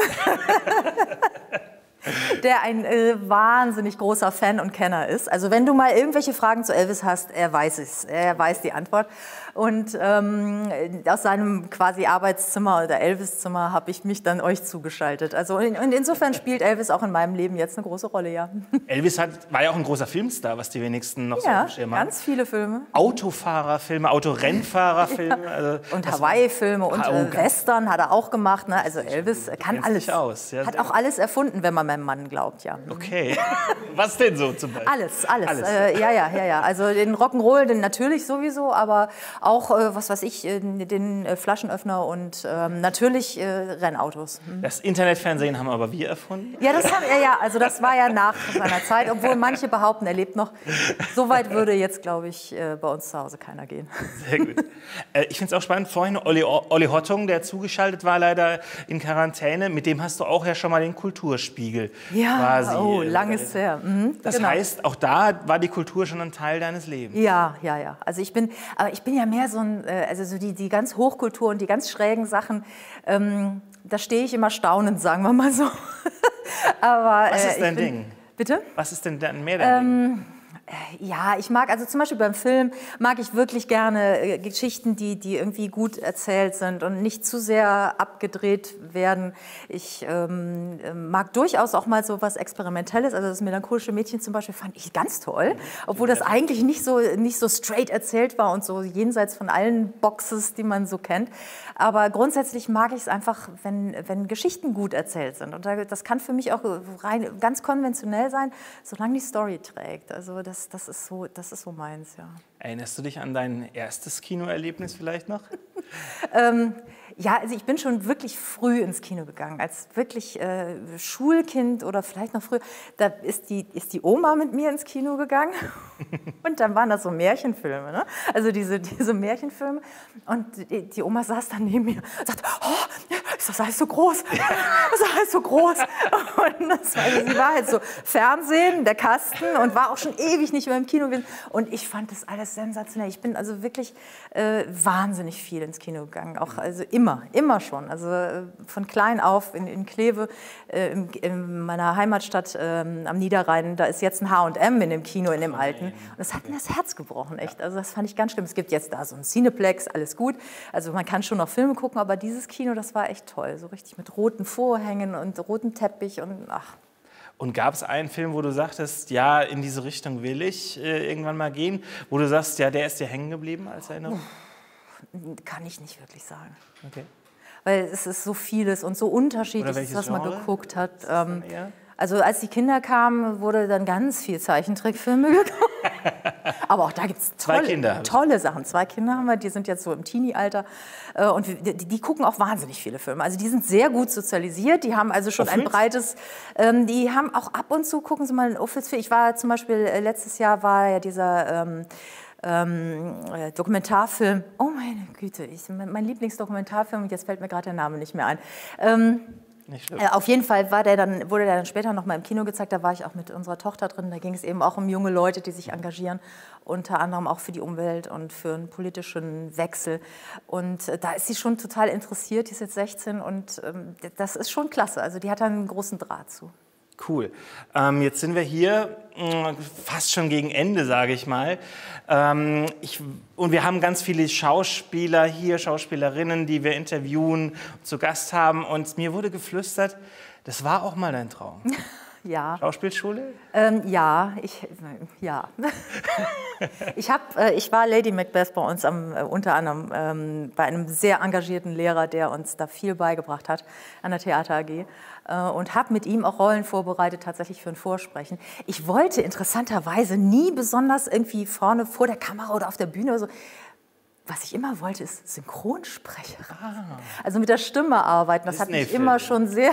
ja, nicht nur. Also, Also auch oder so, berühmte Schauspieler. äh, Genau, Julia Roberts synchronisieren oder so. Ne, also äh, das fand ich immer total faszinierend. Das hätte ich wirklich gerne mal gemacht. Wenn also noch mal jemand irgendwie so, eine, so einen Job für mich Jetzt haben würde, zuschaut, ja. ich würde das wirklich gerne, immer noch gerne machen. Ja, total. Das wäre vereinbar auch mit den ganzen anderen? Auch das, das kriegen wir bestimmt unter. Oder so Hörbücher sprechen, so sensationell. Was, was würde dich daran reizen? Also dann wärst du ja nicht zu sehen, sondern es ist nur deine Stimme, die Ja, dann... ja, also ich mag das, ich mag das wahnsinnig gern mit der Stimme zu arbeiten und da auch irgendwie Sachen zu entwickeln. Ähm, ich spreche ab und zu mal so, so Dokumentarfilme, da mache ich so den, den Kommentartext oder manchmal synchronisiere ich auch Leute, die in fremden Zungen reden, dann auf Deutsch und da kommt, dann kann man so ein bisschen was noch reingeben. Ne? Aber ähm, und da denke ich manchmal, hm, wäre auch schön gewesen. Okay. Und die Entscheidung dann zum Sender zu gehen, kam die auch aus... Ja, ich wollte dann, also ich, ich, ähm, ich muss ehrlich sagen, ich ähm, konnte mir immer vorstellen, ähm, im Journalismus auch die, die, die kleinsten Nummern zu machen. Also in der Lokalzeitung zum Kaninchenzüchterverein zu gehen und da was drüber zu schreiben, konnte ich mir immer gut vorstellen. Und da habe ich gedacht, wenn du da, während ich mir so auf so einer ganz kleinen Provinzbühne, mm, weiß ich nicht, ob ich da, ob ich da Spaß dran gehabt hätte. Da habe ich gedacht, na, ist vielleicht Journalismus doch das Bessere für dich. Okay, und jetzt bist du Berichterstatterin beim Max-Ophüls-Preis Ja. in einer Weise so mitten im Herzen des Ganzen. Ich muss die Frage stellen, was bedeutet dir das Festival? Ach ja, ich bin da schon so lange. Ich mache das schon so lange erst als, als Reporterin und dann eben durfte ich hier die Mitternachtstalks machen und irgendwie, ähm, man macht das ja dann so einmal im Jahr und ist dann auch so re reportermäßig, ist es so ein bisschen auch Routine. Aber wenn es dann, wenn's dann losgeht und wenn es dann anfängt und wenn man drin ist, ähm, es ist einfach mit nichts zu vergleichen. Das ist echt immer so das Highlight des Jahres, direkt schon am Anfang des Jahres. Das klingt großartig. Ich würde sagen, da stoßen wir doch mal Oh ja. mit dem Rotwein an. Der gute Rote. Einmal und gehen rüber. Danke Ja. dir für das Gespräch zu Sehr unseren gerne. beiden KollegInnen, die nochmal die Haare richten. Ja. sehr gut. Warte, ich guck Hab mal eben gerade von hinten. Äh, Heiko, kannst du mal bitte näher an meine Haare ran, ob die auch sitzen? Ah ja. Ja, aber immer, immer, liebe. Wieso hast du denn jetzt Weißwein und wir rot? Ich wollte irgendwie bei Weiß bleiben und nicht so mixen wie gestern. Da habe ich noch einen leichten Schädel heute noch von gestern, weil ich 30 verschiedene Alkoholika durcheinander getrungen habe. Das war aber nicht mehr nur hier bei uns, habe Nee, ich gehört. nee, ich ne? habe zu Hause dann auch noch mir noch einen Schnaps gegönnt. Aber Ja. habt ihr jetzt von Sonja noch irgendwas erfahren, was ihr noch nicht wusstet? Oder war das alles bekannt? Du hast mir ganz schön was entlockt hier. Also das war nicht alles bekannt. Also das Elvis-Zimmer, das, äh, das ist kein Geheimnis. Das ist im Saarländischen Rundfunk bestens bekannt. Vor allem, weil Mein Mann arbeitet auch da. Allem, Ein geschätzter Kollege. Vor allem, weil er dann auch immer wieder erzählt, wenn er von irgendwelchen Flohmärkten kommt, ne, dann sagt er so, oh, ich habe ganz viele neue Elvis-Platten. Und dann sage ich immer, hast du nicht schon alle? Und dann sagt er so, nee, aber die, die so und so vielte Pressung in der und der Auflage, da habe ich bisher nur vier von. Da gibt es auch nur zehn von. Ja, genau. Großartig. Ja, wie war euer Tag, sage ich mal wieder, Karl? Hast du Ähm, sehr gut, sehr gut, wirklich. Also ähm, super gute Gespräche und ähm, ich mag es sehr gerne, wenn Interviews wirklich ähm, so laufen, dass man noch mal was Neues erfährt. Wir, wir, wir befassen uns ja wirklich sehr intensiv mit den Filmen, mehr, glaube ich, als die Zuschauerinnen und Zuschauer das sonst tun. Und wenn du dann quasi nach deinem eigenen Schaffens-, Be Befassensprozess noch mal mehr erfährst, weil du die Filmschaffenden hier irgendwie im Interview hast, dann ist das wirklich ein sehr, sehr gutes Gefühl. Und das hat mir heute, das war in den letzten Tagen häufig so, aber das war heute bei beiden Talks so und hat mir eine sehr große Freude gemacht. Also toller Tag, kann man nicht anders sagen. Ich kann das nur bestätigen. Vor allem beim letzten Talk gerade habe ich den Film auch noch mal ganz anders verstanden. Ja, das ja. Also ich habe ich hab mir den angeguckt und ich habe gedacht, okay, ich verstehe das Thema, ähm, ich finde ihn gut, aber jetzt noch mal total tief eingestiegen, sodass ich einfach auch gar nicht mehr auf meine Fragen dann geguckt habe, sondern gedacht habe, ach ja, und dann einfach aus Neugierde weitergefragt habe. Das Ding ist, die Filme sind, glaube ich, nicht, die werden nicht fertig dadurch, weil Mhm. du halt im Grunde genommen immer wieder diese Filme dir vornehmen müsstest. Ähm, Gerade bei Ghost Island, das ist, da steckt so irrsinnig viel drin, den müsste man eigentlich jetzt, der müsste ins Kino kommen und dann geht dann jeden Tag einmal rein, um den komplett, um wirklich alles verstehen zu Und können. dann drüber reden. Das und ist dann, Entscheidende, und dann nochmal drüber reden, genau. Aber ja. das ist halt beim Festival. Ja, ist schwierig. Ja. Wie war es bei dir, Sonja? Also ich hatte heute wieder so ein, so ein Erlebnis, äh, dass man einfach auch so wahnsinnig nette Menschen trifft. Also, äh, ich hatte heute die, die Geschwister äh, Robin und Sarah Summer, die einfach so hinreißende, hinreißende Leute waren. Also der Film ist schon ein, ein süßes kleines Ding, irgendwie so ein, so ein, so ein Kleinod, so ein Märchen. Und äh, die beiden haben auch so nett erzählt und es war also wirklich ähm, einfach toll, was man auch für tolle Leute hier kennenlernt. Ne? Also, Also kann ich mich nur anschließen. Äh, Aram Tafreschian nominiert. Äh, Ich hab und das gesehen. Was Super er spannend, ja. alles schon gemacht hat, Super das spannend. ist unfassbar. Und äh, jetzt ist er schon Dozent in jungen Jahren und führt Mhm. Regie und war bei Serien dabei und Theater. Und äh, ja, also das ist einfach beeindruckend. Mhm. Und dass es solche Leute gibt, ich glaube, dafür, davon lebt der Max-Ophüls-Preis. Mhm, Ja. Richtig. Morgen geht es ja auch noch mal weiter mit dem Film, den er äh, hier hat. Mit Und Spitz, der ne? zweiten Nominierten ich aus mich diesem drauf. Film, jawohl, das, da werden wir uns dann wieder die Bälle zuspielen. Morgen da darf man sich auch schon mal freuen, dann wird Simin befragt, also falls Sie schon mal vormerken möchten. Ja, Reichen Sie gerne Ihre Fragen Genau, ein. an mich bitte. Sie dürfen auch fies sein. Genau, aber wir kriegen wir alles hin, liebe Simin. Oh, da musst du dich nicht verstecken. Ich würde sagen, dann stoßen wir lieber noch mal an. Es war schön mit euch, ein schöner Festivalsonntag. Gehen wir in die Endphase. Freue ich mich Ja. Lieben Gruß nach Hause, bis morgen. 19.30 Uhr geht's weiter.